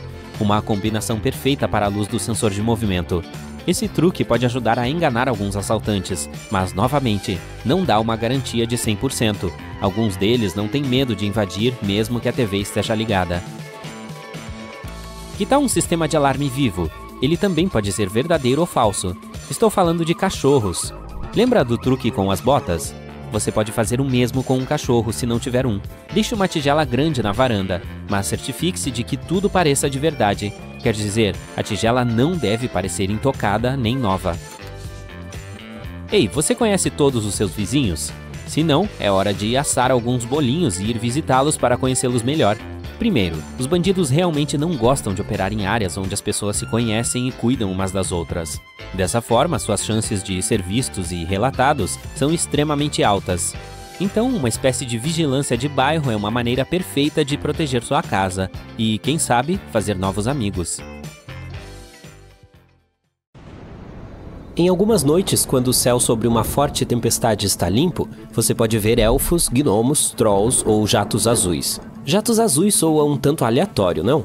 Mas na verdade não estamos falando de contos de fadas. Todos esses são apenas tipos diferentes de relâmpagos que são visíveis principalmente muito acima das nuvens de tempestades violentas. Vejamos os sprites vermelhos. Eles são flashes de luz que aparecem acima de tempestades que vêm em grupos. São raros, pois são causados apenas por um tipo específico de relâmpago chamado de relâmpago positivo nuvem-solo. Assim, uma carga positiva é transferida de uma nuvem de trovoada para o solo durante a queda de um raio. Esses tipos de raios representam apenas 10% de todos. Por mais de um século, muitos acreditaram que esses flashes eram apenas lendas urbanas. As pessoas de fato os viam de tempos em tempos, mas os flashes eram tão breves que, mesmo que você tivesse tido a sorte de vê-los, não teria tido tempo de chamar alguém para testemunhar esse fenômeno com você. Mesmo quando cientistas ou pilotos responsáveis falavam sobre eles, a comunidade científica, em sua maioria, os ignorava. Em 1989, algo estranho aconteceu. Pesquisadores da Universidade de Minnesota conseguiram filmar os sprites. E foi assim que tudo começou. Pessoas de todo o mundo começaram a compartilhar vídeos e fotos de sprites vermelhos. Os sprites vermelhos podem começar como bolas de 100 metros feitas de ar ionizado. Essas bolas caem de alturas de cerca de 80 km a 10% da velocidade da luz. E os pesquisadores têm estudado não apenas os relâmpagos que caem das nuvens furiosas, mas também esses flashes coloridos que sobem em direção ao espaço. Portanto, a eletricidade se estica até a ionosfera eletricamente carregada, mas ao mesmo tempo se esmaga em direção ao solo. Os sprites vermelhos têm formas diferentes, como esses grandes sprites que lembram águas vivas e que às vezes têm áreas que medem até 77 km quadrados. Você pode ver sprites do tipo cenoura ou do tipo coluna. Eles são semelhantes, mas os do tipo cenoura também têm gavinhas longas. As partes inferiores das gavinhas são geralmente azuis, enquanto as superiores são vermelhas. Em 22 de agosto de 2022, conseguimos tirar algumas fotos impressionantes de faixas vermelhas brilhantes no céu sobre o deserto do Atacama, no Chile. Elas estavam cercadas por outro brilho maior de cor esverdeada. É algo que chamamos de luminescência atmosférica, e só é possível vê-la tão bem quando não há poluição luminosa. Basicamente é quando usamos muita luz artificial. E entre outras coisas, ela não nos permite observar estrelas e outros objetos que, de outra forma, poderíamos ver no céu. E essa luminescência atmosférica acontece por causa dos átomos de nitrogênio e oxigênio na nossa atmosfera. Durante o dia, a luz do Sol arranca seus elétrons. Em seguida, eles se recombinam lentamente com seus elétrons, e esse é um processo que faz com que brilhem. Como se pode ver um sprite vermelho? Primeiro é preciso encontrar uma grande tempestade. Eles são mais comuns no verão e na primavera. É claro que os sprites podem aparecer a qualquer momento se houver tempestades fortes com raios no nível do solo. O céu precisa estar limpo e muito escuro, de preferência sem luar intenso, e a tempestade deve estar a cerca de 160 a 320 km de distância. Dessa forma, as nuvens não bloquearão o céu e você terá melhor visibilidade. No cenário perfeito, a tempestade estará se movendo ao longo de um horizonte distante, de modo que será possível ver tudo acima do topo das nuvens você pode rastrear uma tempestade com o radar meteorológico. Seus olhos precisam de tempo para se adaptar à escuridão ao seu redor. Dê a eles algum tempo, cerca de 20 a 30 minutos. Mantenha seus olhos acima das nuvens e tente não olhar diretamente para elas. Ignore os relâmpagos. Um sprite aparecerá talvez uma vez a cada 200 relâmpagos. Não espere realmente capturá-lo na câmera, não é fácil, mas a vista em si provavelmente fará a espera valer a pena. Esse e outros eventos luminosos semelhantes são algo que chamamos de TLEs, do inglês para eventos luminosos transientes. Também vale a pena mencionar os jatos azuis. São luzes azuis fracas que sobem como um sopro de fumaça muito rápido acima de fortes tempestades de granizo. Também são muito raros e, na maioria dos casos, você só poderá vê-los de um avião. E agora chegamos às criaturas dos contos de fadas. Elves. Quando falamos de relâmpagos, são breves discos de luz fraca que podem ser vistos a cerca de 100 km de altura na atmosfera.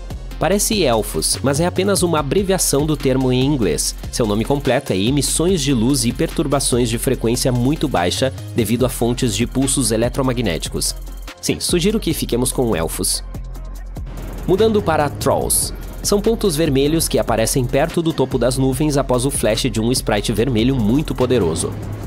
Os gnomes são os flashes menores e mais rápidos. Estamos falando de minúsculos picos brancos de luz que piscam do topo de uma grande nuvem bigorna de nuvens de trovão. A bigorna é aquela nuvem alongada que você vê no topo de uma tempestade violenta. Ela se espalha a favor do vento junto com os ventos de nível superior, e os gnomes duram apenas um microsegundo. E vejam só, os raios globulares têm a forma de esferas de fogo que podem ser do tamanho de uma bola de golfe ou podem crescer até o tamanho de uma bola de praia muito grande. Eles podem ser amarelos, vermelhos, brancos, laranja, verdes ou roxos, e podem permanecer vivos por alguns segundos, às vezes até minutos. Ao longo dos séculos, muitas pessoas têm falado sobre ter visto raios globulares, às vezes até flutuando em suas casas. Mas esses eventos são realmente imprevisíveis e acontecem muito raramente. Os cientistas conseguiram recriar um raio globular em laboratório, ou pelo menos algo muito semelhante a ele. Eles perceberam que esse fenômeno provavelmente aparece depois que um raio atinge o solo. Em seguida, os grãos minerais do solo se vaporizam. Aqui está algo espetacular: um raio vulcânico. Este nasce nas plumas de uma erupção vulcânica selvagem. Como o restante das tempestades, os raios vulcânicos se formam quando a eletricidade estática se acumula na atmosfera da Terra, e então ela é liberada na forma de um raio. Os cientistas não entendem todo o mecanismo, mas acham que ele está relacionado à carga. Por exemplo, a carga de gelo é o que causa a formação de tempestades. Ela também desempenha um papel na produção de raios durante erupções vulcânicas. Isso acontece quando o ar aquecido em uma erupção sobe para o céu e encontra o ar frio. A água da erupção se transforma em partículas de gelo, e quando essas partículas se chocam umas com as outras, alguns elétrons são arrancados. As partículas de gelo que agora têm cargas mais positivas se movem mais alto no céu e se juntam. Ou pode ser uma carga de atrito, outra coisa que leva a um raio vulcânico.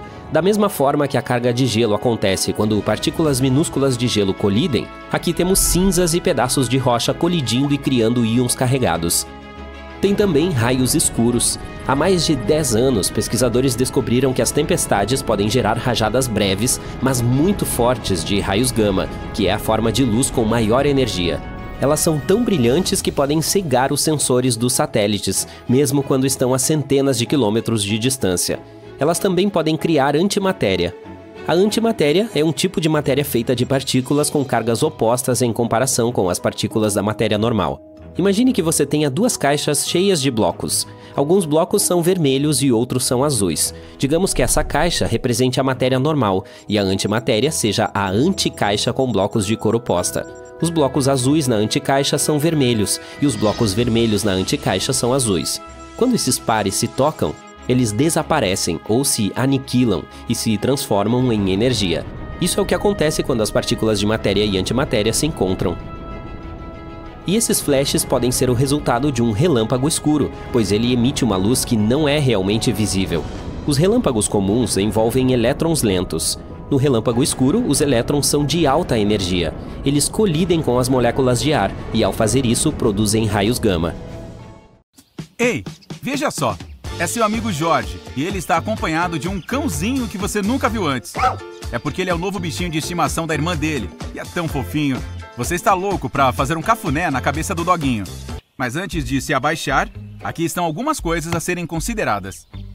Primeiro, pergunte ao seu amigo se não tem problema afagar o cachorrinho. Nunca se sabe. Talvez ele não goste de ser acariciado, ou pode ter medo de estranhos. Quem sabe se comportar de forma arisca perto deles?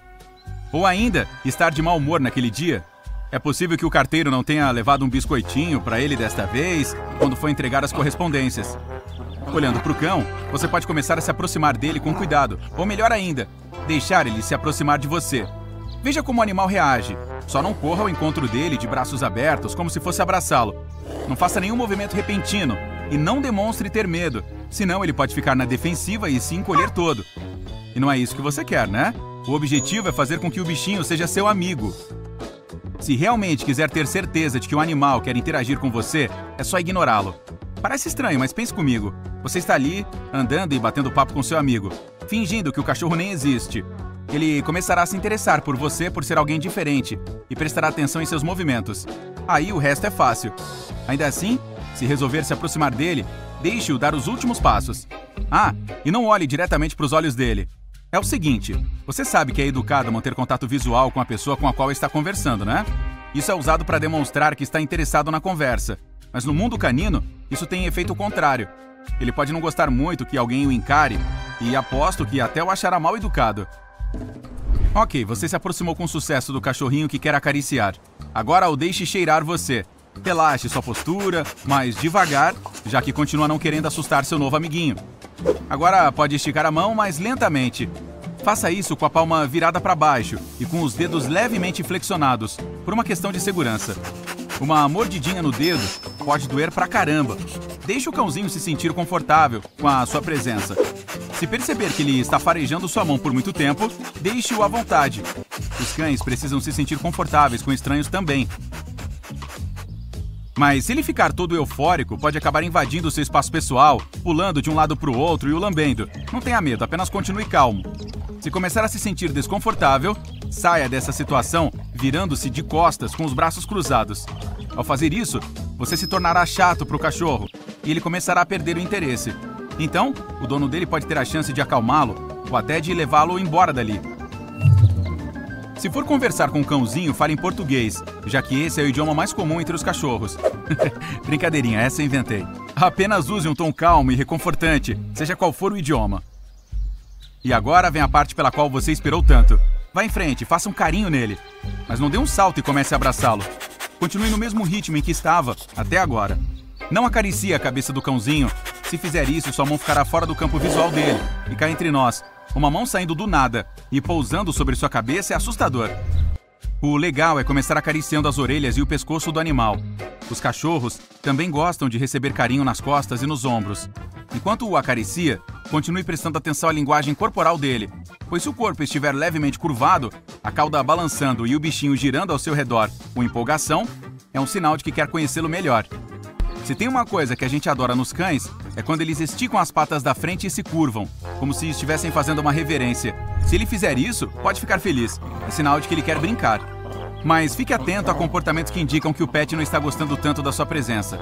Se ele estiver mostrando os dentes ou rosnando em sua direção, é hora de se afastar. Cauda em pé, parada, também pode ser um sinal de que ele está se sentindo ameaçado. Os cães também têm outra forma de mostrar que estão estressados ou ansiosos lambendo os próprios lábios ou bocejando. Durante sua interação, sempre respeite o animal e lembre-se que ele também tem seus limites. Você volta para casa e seu cachorrinho Totó está esperando na porta. Empolgado como sempre, ele dá uma lambida na sua cara e fica pulando freneticamente ao seu redor. O melhor amigo dele chegou em casa.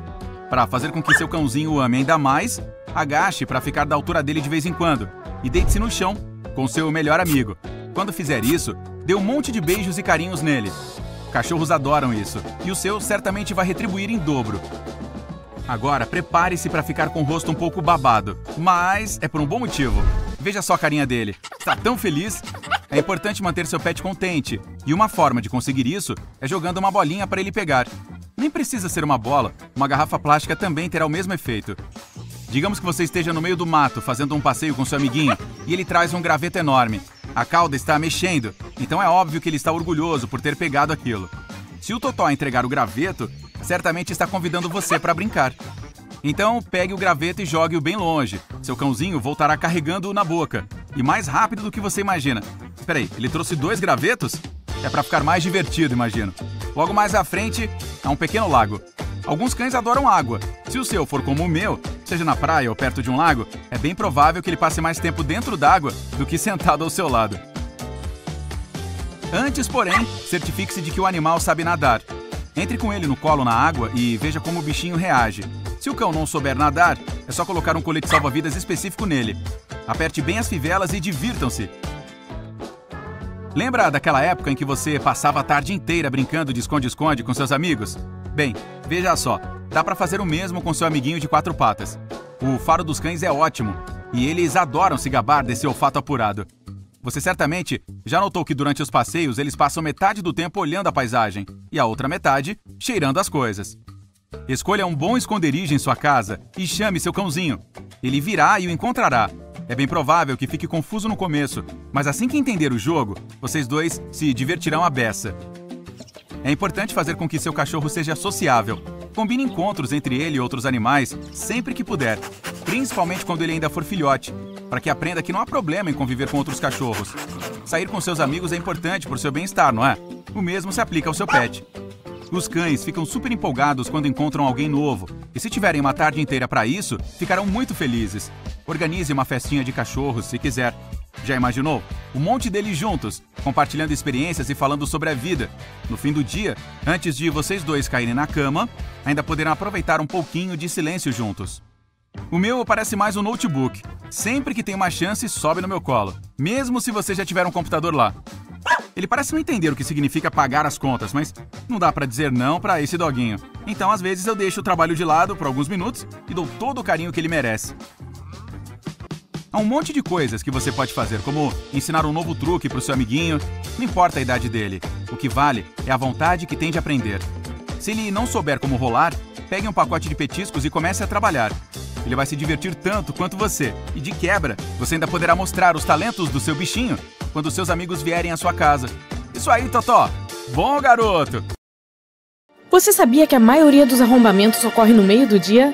O FBI diz que arrombamentos acontecem no meio do dia porque as pessoas estão fora de casa. Não deixe que sua casa seja um alvo fácil para roubos. Aqui estão 10 dicas para proteger sua casa e alguns itens de segurança que você pode precisar ao longo do caminho. O número 1 um na nossa lista são fechaduras portáteis para portas. Elas não são projetadas apenas para casas comuns. Digamos que você fique em uma casa alugada, onde outros hóspedes também entram e saem. Você pode levar uma dessas fechaduras portáteis consigo. Muitos quartos têm mecanismos de fechadura secundária além da normal, como correntes de segurança presas à porta, mas você não deve confiar sempre nelas. Estes mecanismos são mantidos apenas por parafusos. Isso significa que são fáceis de deslocar. Existem muitos modelos de fechaduras portáteis, então o que você deve procurar? A facilidade de uso é a chave para instalação e remoção em caso de emergência. A maioria das portas que abrem para dentro são adequadas para estes itens. A da Lock é um bom exemplo. Você pode encontrá-lo na Amazon. É um tanto barato, tem um design versátil e o mais importante, vem em uma só peça. Leva segundos para melhorar sua segurança. Você insere as garras na contratesta da fechadura e então fecha a porta. Ela será mantida em posição com um puxador. Pronto. Os assaltantes não ficam relaxando em sua casa ou se preocupam em roubar coisas pesadas como TV. Eles querem entrar e sair em menos de 10 minutos. O que você deve fazer é tomar algumas precauções para atrasá-los. O vidro laminado é ótimo para isso. É um bom investimento a se considerar. Janelas normais, que são feitas com vidro temperado, podem quebrar facilmente, mas janelas laminadas são como escudos. Elas podem rachar, mas não se quebram. Em vez de fazer ruídos altos e chamar a atenção, o assaltante provavelmente irá embora. A estrutura do vidro laminado é diferente da normal. Ela mantém a peça intacta mesmo após um forte impacto. As janelas de vidro laminado são 100 vezes mais rígidas e 5 vezes mais duráveis que as normais. O que torna esse tipo de vidro tão especial? Em primeiro lugar, é feito com camadas. Há duas camadas de vidro e é um material de vinil no meio que ajuda a manter as duas camadas intactas. Como bônus, as laminadas têm uma característica de insonorização. Dois coelhos com uma cajadada só. A camada intermediária absorve parte do ruído externo. Afinal de contas, é vidro, não vamos ver a camada de vinil? Essa pode ser a pergunta que veio à sua cabeça. Não, o vidro laminado é transparente, assim como outros tipos. Aproveite a vista cristalina enquanto permanece em segurança. Eu diria, mas infelizmente é caro obter esses vidros anti-ladrões especificamente manufaturados. Você pode chamar profissionais para instalar uma película laminada em suas janelas padrão, ou até mesmo comprar uma película de segurança. Elas funcionam de acordo com o mesmo princípio, mas obviamente essas alternativas não podem ser tão fortes quanto o próprio vidro laminado. As próximas dicas vêm de um ex-ladrão, Michael Fraser. Agora ele está dando alguns conselhos sobre como se proteger contra roubos. Sua primeira dica é bastante interessante. Não coloque um adesivo de cuidado com o cão se você tiver um cão. Se um cão pode passear pela casa sem acionar o alarme, um humano também pode. Esse é o modo de pensar dos ladrões. Além disso, muitos cães ficam amigáveis em pouco tempo, a menos que sejam especificamente treinados para pegar estranhos. Caso contrário, eles podem ser facilmente colocados em uma sala. E bem, você sabe o resto. Adeus, itens preciosos. Anunciar sua casa para venda online é um procedimento padrão para atrair compradores potenciais, mas também ladrões. Com suas fotos inocentes, os assaltantes podem ter plantas baixas com visitas virtuais. Eles podem identificar facilmente as rotas de entrada e de fuga, soa como um plano perfeito para roubar uma casa. O número 5 é a compra de um sistema de segurança doméstico. Ele ajuda a evitar roubos e o notifica se isso acontecer. De acordo com os dados, casas sem um sistema de segurança são quase três vezes mais vulneráveis a invasões. Há muitos para se escolher. Alguns são caros, mas felizmente também há opções acessíveis. Você não precisa nem mesmo chamar profissionais. Este sistema de segurança faça você mesmo da Amazon é um exemplo de um dispositivo bom e barato com características úteis. Esse tipo de dispositivo é projetado para ser fácil de instalar. Você será orientado através de um aplicativo para o software e para o próprio produto. Bônus: você não terá que lidar com parafusos, ferramentas ou mesmo furar paredes. Eles têm serviço de emergência rápido que pode notificar as autoridades se você assim quiser. Como é fácil de instalar, é perfeito também para residentes de curto prazo. Lembra que mencionei que se um cão pode andar dentro de casa, um ladrão também pode? Bem, a tecnologia não é a favor dos ladrões. Esse tipo de dispositivo pode agora detectar intrusos e ser amigo de seu animal de estimação. Os sensores podem ser colocados na janela, portas e cantos, mas ainda assim podem ser ajustados para evitar alarmes falsos causados por pets. Outro dispositivo para acrescentar uma camada de proteção a você, especialmente em residências compartilhadas como dormitórios, é um alarme de porta. Esse dispositivo é muito compacto, portanto é fácil colocá-lo na bagagem e levá-lo nas férias dos seus sonhos. Você pode usá-lo no dia a dia. Um alarme de porta pode ser usado em qualquer porta, desde que colocado no lado interno. Ele funciona como uma cunha de porta, mas a mantém fechada. Como funciona? Quando o alarme for acionado, manterá o intruso do lado de fora e ativará um alarme barulhento capaz de acordar o proprietário da casa ou os vizinhos. Esse também pode ser facilmente encontrado na Amazon. O ex-ladrão Michael também recomenda pensar como um ladrão. Pergunte-se: como eu entraria? É um ótimo exercício inicial para descobrir pontos vulneráveis. Caminhe por sua casa. Existe uma janela que possa ser facilmente aberta? Ah, espere, aquilo ali sobre a mesa é o seu laptop que pode ser visto da rua? Por falar em rua, se você comprar um novo dispositivo eletrônico como uma TV ou um computador, não deixe as caixas de papelão vazias à mostra perto do container de lixo. Isso parece um convite para os ladrões. Eles saberão que você tem um aparelho eletrônico caro dentro de casa. Ao invés disso, desmonte as caixas de papelão e separe-as para reciclagem. Infelizmente, as janelas do primeiro andar são pontos de entrada em 23% dos arrombamentos de casas. Para evitar isso, você pode adquirir um kit de alarme sem fio. Quando se trata da porta frontal, a instalação de uma fechadura de chave dupla pode ser uma solução. Da mesma forma, uma iluminação com sensor de movimento também ajuda. Você tem pontos cegos ao redor de sua casa? Escolha uma câmera de segurança com visão noturna. Se quiser ver o que está acontecendo dentro de sua casa em vez de fora, você pode obter um desses dispositivos de segurança legais. Orbi Robotic Mobile Sphere é como uma bola, mas tem uma câmera inserida nela. Ela não tem uma visão limitada. Imagine que você está no escritório e quer brincar com seu cachorro. Seu melhor amigo de quatro patas pode perseguir a bola em casa enquanto você controla o dispositivo de longe. Ah, é mesmo, estávamos aqui para salvar sua casa de ladrões, então vou deixar brinquedos divertidos para pets para outro vídeo. Aqui está uma verdade chocante sobre cercas. A maioria das pessoas acredita que as cercas são como guardiões que protegem seus bens. Desculpe desiludi-lo, mas mesmo as altas e sólidas não são tão seguras quanto você acredita. A regra número um de um ladrão é não ser pego. E se eles invadirem uma casa com cercas à noite, eles estariam perfeitamente cobertos. Seus vizinhos não podem ver quem está lá, a menos que tenham visão de raios-x. As cercas devem ser difíceis de serem escaladas. Um dos objetivos de ter uma cerca é a privacidade, mas só estou dizendo que cercas de metal, arame e estacas tornam mais difícil a entrada de intrusos. Então, deciframos o código do ladrão. Implementar as dicas da nossa lista pode ajudá-lo a desencorajar e prevenir arrombamentos e mantê-lo seguro. Você já teve incidentes desagradáveis assim? Se sim, tem alguma outra dica para compartilhar com nossa incrível comunidade? Os roubos estão crescendo em seu bairro e você está preocupado, pois teme que sua casa seja o próximo alvo. Ela não tem câmeras de segurança, então esta noite você vai colocar um pedaço de papel alumínio na maçaneta da porta de entrada antes de ir dormir. Isso vai ajudar a saber se alguém tentou arrombar sua residência. Você acorda na manhã seguinte e parece que o papel alumínio está um pouco rasgado. Alguém esteve ali e pode querer voltar. Outra opção é pôr uma caneca na maçaneta. Quando alguém tentar abrir a porta, a caneca vai cair, o barulho vai te acordar e, quem sabe, fazer o ladrão sair correndo. Sua maior preocupação é um vendedor que passou por ali recentemente. Ele disse que estava fora o dia todo e pediu para usar seu banheiro. Você não permitiu e até se sentiu mal na ocasião, mas foi uma decisão sábia. Os roubos geralmente são cometidos por alguém que já esteve na casa. Se esse vendedor fosse ao seu banheiro, poderia ajustar alguma coisa lá dentro para facilitar a entrada dele quando voltasse. Ele poderia ter conferido qual era o tipo de câmera de segurança, se tivesse uma, as opções de saída e até reparado em quais pertences poderia levar. Finalmente, suas férias chegaram e você vai viajar. Agora é preciso preparar sua casa e torná-la mais segura possível. Uma propriedade com a caixa de correio cheia é o primeiro alvo de um ladrão. Seu vizinho vai precisar pegar suas correspondências enquanto você estiver fora.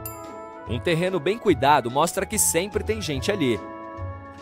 Você sempre mantém sua grama parada e plantas podadas, então precisará que alguém faça isso durante a sua ausência. Se for no inverno, qualquer monte de neve acumulado ao redor também pode virar alvo. Se o seu vizinho puder fazer pegadas falsas na entrada, será uma maravilha. Há certos tipos de arbustos que podem ajudar na proteção, como esta cerca de folhas afiadas que você tem em seu quintal. Se alguém tentar entrar em sua propriedade e cair em cima de um arbusto espinhoso, vai se machucar e gritar de dor. Isso vai alertar os vizinhos de que tem alguma coisa errada. E a folhagem também ficará com pedaços de roupa que podem ser usados como provas depois. Ao se preparar para sua viagem, uma semana antes, você abriu e fechou as cortinas em horários aleatórios ao longo do dia.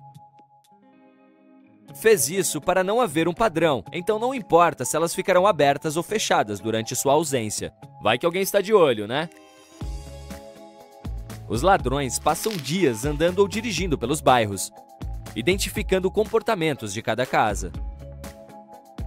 Uma coisa que eles odeiam é a patrulha de bairro. Os criminosos fazem uma pesquisa antes de entrar em ação, então evitam essas regiões vigiadas. Tá aí algo interessante para se pensar depois da viagem. Agora, tire todos os seus aparelhos eletrônicos de perto das janelas para que não haja nada valioso à vista. Coloque tudo dentro de um armário ou em um quarto fechado. Não se preocupe com TVs, elas são grandes demais e exigem esforço para carregar. Os ladrões estão mais interessados em aparelhos menores, como iPads e jogos. Coloque objetos caros e pequenos, como joias, dentro de caixas e as esconda em algum local secreto. Quartos de crianças são um bom local. Ladrões já admitiram nunca entrar neles, já que não há nada de valor em brinquedos. Tire fotos de todos os números de série de seus aparelhos eletrônicos e faça um inventário caso precise acionar o seguro. Grande parte dos arrombamentos é feita à força, então é hora de reforçar janelas e portas. Para dificultar ainda mais a vida dos ladrões, retire banquinhos, cadeiras e escadas do quintal e coloque tudo dentro da garagem. Caso contrário, esses objetos podem ajudar os intrusos a acessar entradas mais altas, como a caixa do ar-condicionado. Essa é a entrada preferida dos bandidos, pois é fácil tirar o aparelho do lugar e passar pelo buraco. Não facilite as coisas deixando uma escada por perto. Ladrões podem quebrar uma porta fraca em um minuto. Instale uma estrutura metálica nela, em vez de madeira, para torná-la mais resistente. As dobradiças e a fechadura devem ter força suficiente para aguentarem ser chutadas até o intruso desistir. A fechadura é outra parte frágil, e ladrões experientes sabem disso. Instalar um cadeado simples na porta pode garantir mais segurança. Se o seu portão for basculante, é mais vulnerável e pode ser acessado tirando os pinos das dobradiças. Substitua-os por pinos à prova de violação para que não possam ser removidos. E por último, a porta interna que dá acesso à garagem é um dos primeiros lugares que um ladrão procura. Ela costuma não ter cadeado, então prenda um no trinco para reforçar a segurança. Se a porta da sua garagem não tiver trinco, faça um furo nela para conseguir passar um cadeado. Ladrões têm medo de cachorros, que são os guardiões fiéis do lar. Pesquisas mostram que a maioria das casas roubadas não tinha cães, já que os criminosos não queriam chamar a atenção durante o roubo. Infelizmente, você não tem cachorro. Mas deixar uma bolinha do lado de fora pode fazer as pessoas acreditarem que o local tem um pet. Ladrões também aprimoram suas técnicas com recursos tecnológicos. Quatro em cada cinco criminosos usam redes sociais como Facebook, Twitter e Google Maps para encontrar alvos. Eles podem até clonar uma chave com base em alguma foto que você postou. É só dar um zoom e tirar as medidas. Certifique-se de que sua conexão de Wi-Fi seja segura e use uma senha nova e muito mais forte quando estiver fora. Não são apenas seus bens materiais que estão em perigo. Dados preciosos como senhas e códigos de acesso podem ser roubados pela internet. E tem também o risco de infectar seus aparelhos com malwares maliciosos. Você também pode retirar a visão da sua casa do Google Maps. Digite seu endereço, encontre a vista da rua da sua residência, clique no botão de opções e selecione Relatar um problema. Você será direcionado para uma tela com a imagem da sua casa e terá a opção de cobri-la com um quadrado vermelho. Peça para que a imagem seja desfocada sob a opção Minha Casa e digite seu endereço exato. Seu requerimento levará apenas alguns dias para ser processado. Não deixe o rádio ligado quando for se ausentar, isso não vai ajudar. Quando patrulham os bairros, os ladrões prestam atenção em barulhos de rádio e TV. Aí, quando eles voltam e veem que o rádio continua ligado, isso só confirma que não tem ninguém no local. Uma alternativa para mostrar que tem alguém é gravar um áudio próprio, algo que toque barulhos ambientes aleatoriamente ao longo do dia, como pegadas, conversas e latidos de cachorro. Deixar as lâmpadas acesas também não é uma boa ideia. Alguém que está espiando o bairro vai notar sua residência com mais facilidade, principalmente à noite, e você será roubado uma segunda vez quando for pagar a conta de luz. Você está prestes a sair para tirar o lixo. Se tiver alguma caixa grande nele, quebre-a, para que caiba dentro do saco. Esconda qualquer indício dos bens valiosos que tenha adquirido recentemente. Última verificação: todas as portas estão trancadas e nenhuma janela está aberta. Agora você finalmente pode aproveitar sua viagem. Mas, enquanto desfruta de seu passeio em algum lugar paradisíaco, guarde suas fotos enquanto estiver lá. E só poste quando voltar. Se fizer isso do lugar que está visitando, toda a preparação que fez será inútil. Todos os criminosos da cidade saberão que você está fora. 2 milhões e meio de casas são roubadas por ano nos Estados Unidos. Mas uma sem sistema de segurança moderno está 300% mais suscetível a ser arrombada. Então, quando voltar de suas férias, pense na possibilidade de instalar um. Você sabia que a cada 15 segundos ocorre um roubo em casa nos Estados Unidos? Isso significa que aproximadamente 4.800 roubos acontecem todos os dias e a polícia só pode resolver 13% de todos os casos relatados. Então, sim, segurança doméstica não é motivo de piada. E eu ainda dou bobeira. Mas ainda assim, não se preocupe, não é como se você precisasse transformar sua casa em uma fortaleza para se sentir seguro. Há várias coisas que você pode fazer para manter os ladrões fora da sua casa e seus objetos de valor seguros. Primeiro, o mais importante: casas sem um sistema de segurança têm 300% a mais de chances de serem invadidas e arrombadas. Então, você definitivamente deveria considerar a instalação de um. No entanto, existem muitos tipos diferentes de sistemas de segurança por aí. É por isso que pode ser complicado escolher o melhor para suas necessidades específicas, seu nível de proteção desejado e orçamento. Mais uma vez, tudo se resume a duas opções: instalações profissionais e instalações faça você mesmo. Vamos dar uma olhada em ambas as possibilidades. Os sistemas instalados profissionalmente requerem monitoramento profissional e, em geral, têm contratos que provavelmente são de longo prazo. Os sistemas profissionais vêm com taxas. No entanto, as empresas costumam exigir custos iniciais de equipamentos mais baixos, pois distribuirão os custos ao longo do contrato. Depois de contratar essa instalação profissional, a empresa agendará primeiro uma consulta com um de seus técnicos, que poderá realizar uma avaliação de segurança e explicar todas as opções para você. E enquanto o seu contrato estiver vigente, você pode relatar qualquer problema que tenha com o sistema, para que eles possam garantir que o equipamento funcione.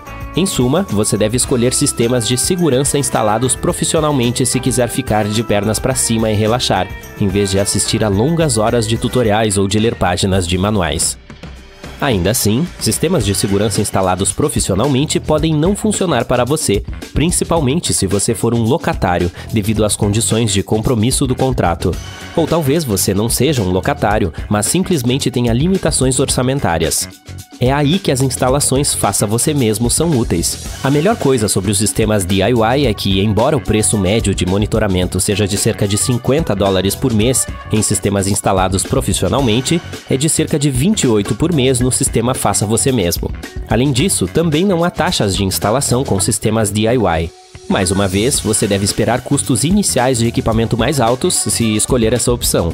E também há o fato de que os sistemas de segurança doméstica faça você mesmo vêm com os riscos de colocação inadequada de equipamentos e vulnerabilidades de segurança que um profissional detectaria. No final das contas, a coisa mais importante que você precisa fazer antes de escolher um sistema é avaliar as necessidades do seu bairro e também da sua casa. Você sabia que 34% dos assaltantes simplesmente usam a porta da frente ao invadir uma casa? Isso significa que, se a sua porta não for forte e segura o suficiente, você está basicamente convidando os ladrões a entrar. Portanto, configurar sistemas de segurança não basta. Você também precisa inspecionar todas as portas externas. Certifique-se de que os caixilhos são fortes e as dobradiças estão protegidas. Você também pode usar kits de reforço de porta para adicionar proteção extra. Se a sua porta tiver uma caixa de correio, não se esqueça de verificar se é possível alguém passar por ela para destrancar a porta. Ao se mudar para uma casa ou um apartamento que antes era ocupado por outra pessoa, troque as fechaduras. É a maneira mais fácil de garantir que nenhum estranho entre em sua casa usando as chaves. Outra forma de aumentar a segurança é usar câmera sem fio. Essa da Amazon é extremamente fácil de usar.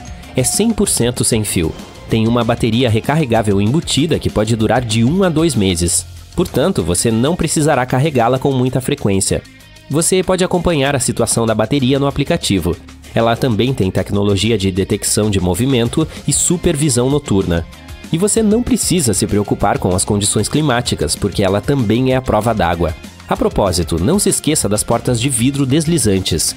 Você pode usar uma barra de janela ou pino na pista para evitar que eles sejam forçados a abrir. Ou você pode adicionar um sensor de porta ou sensor de quebra de vidro para ser alertado se e quando alguém estiver mexendo ali. Vamos falar sobre o básico da segurança doméstica agora.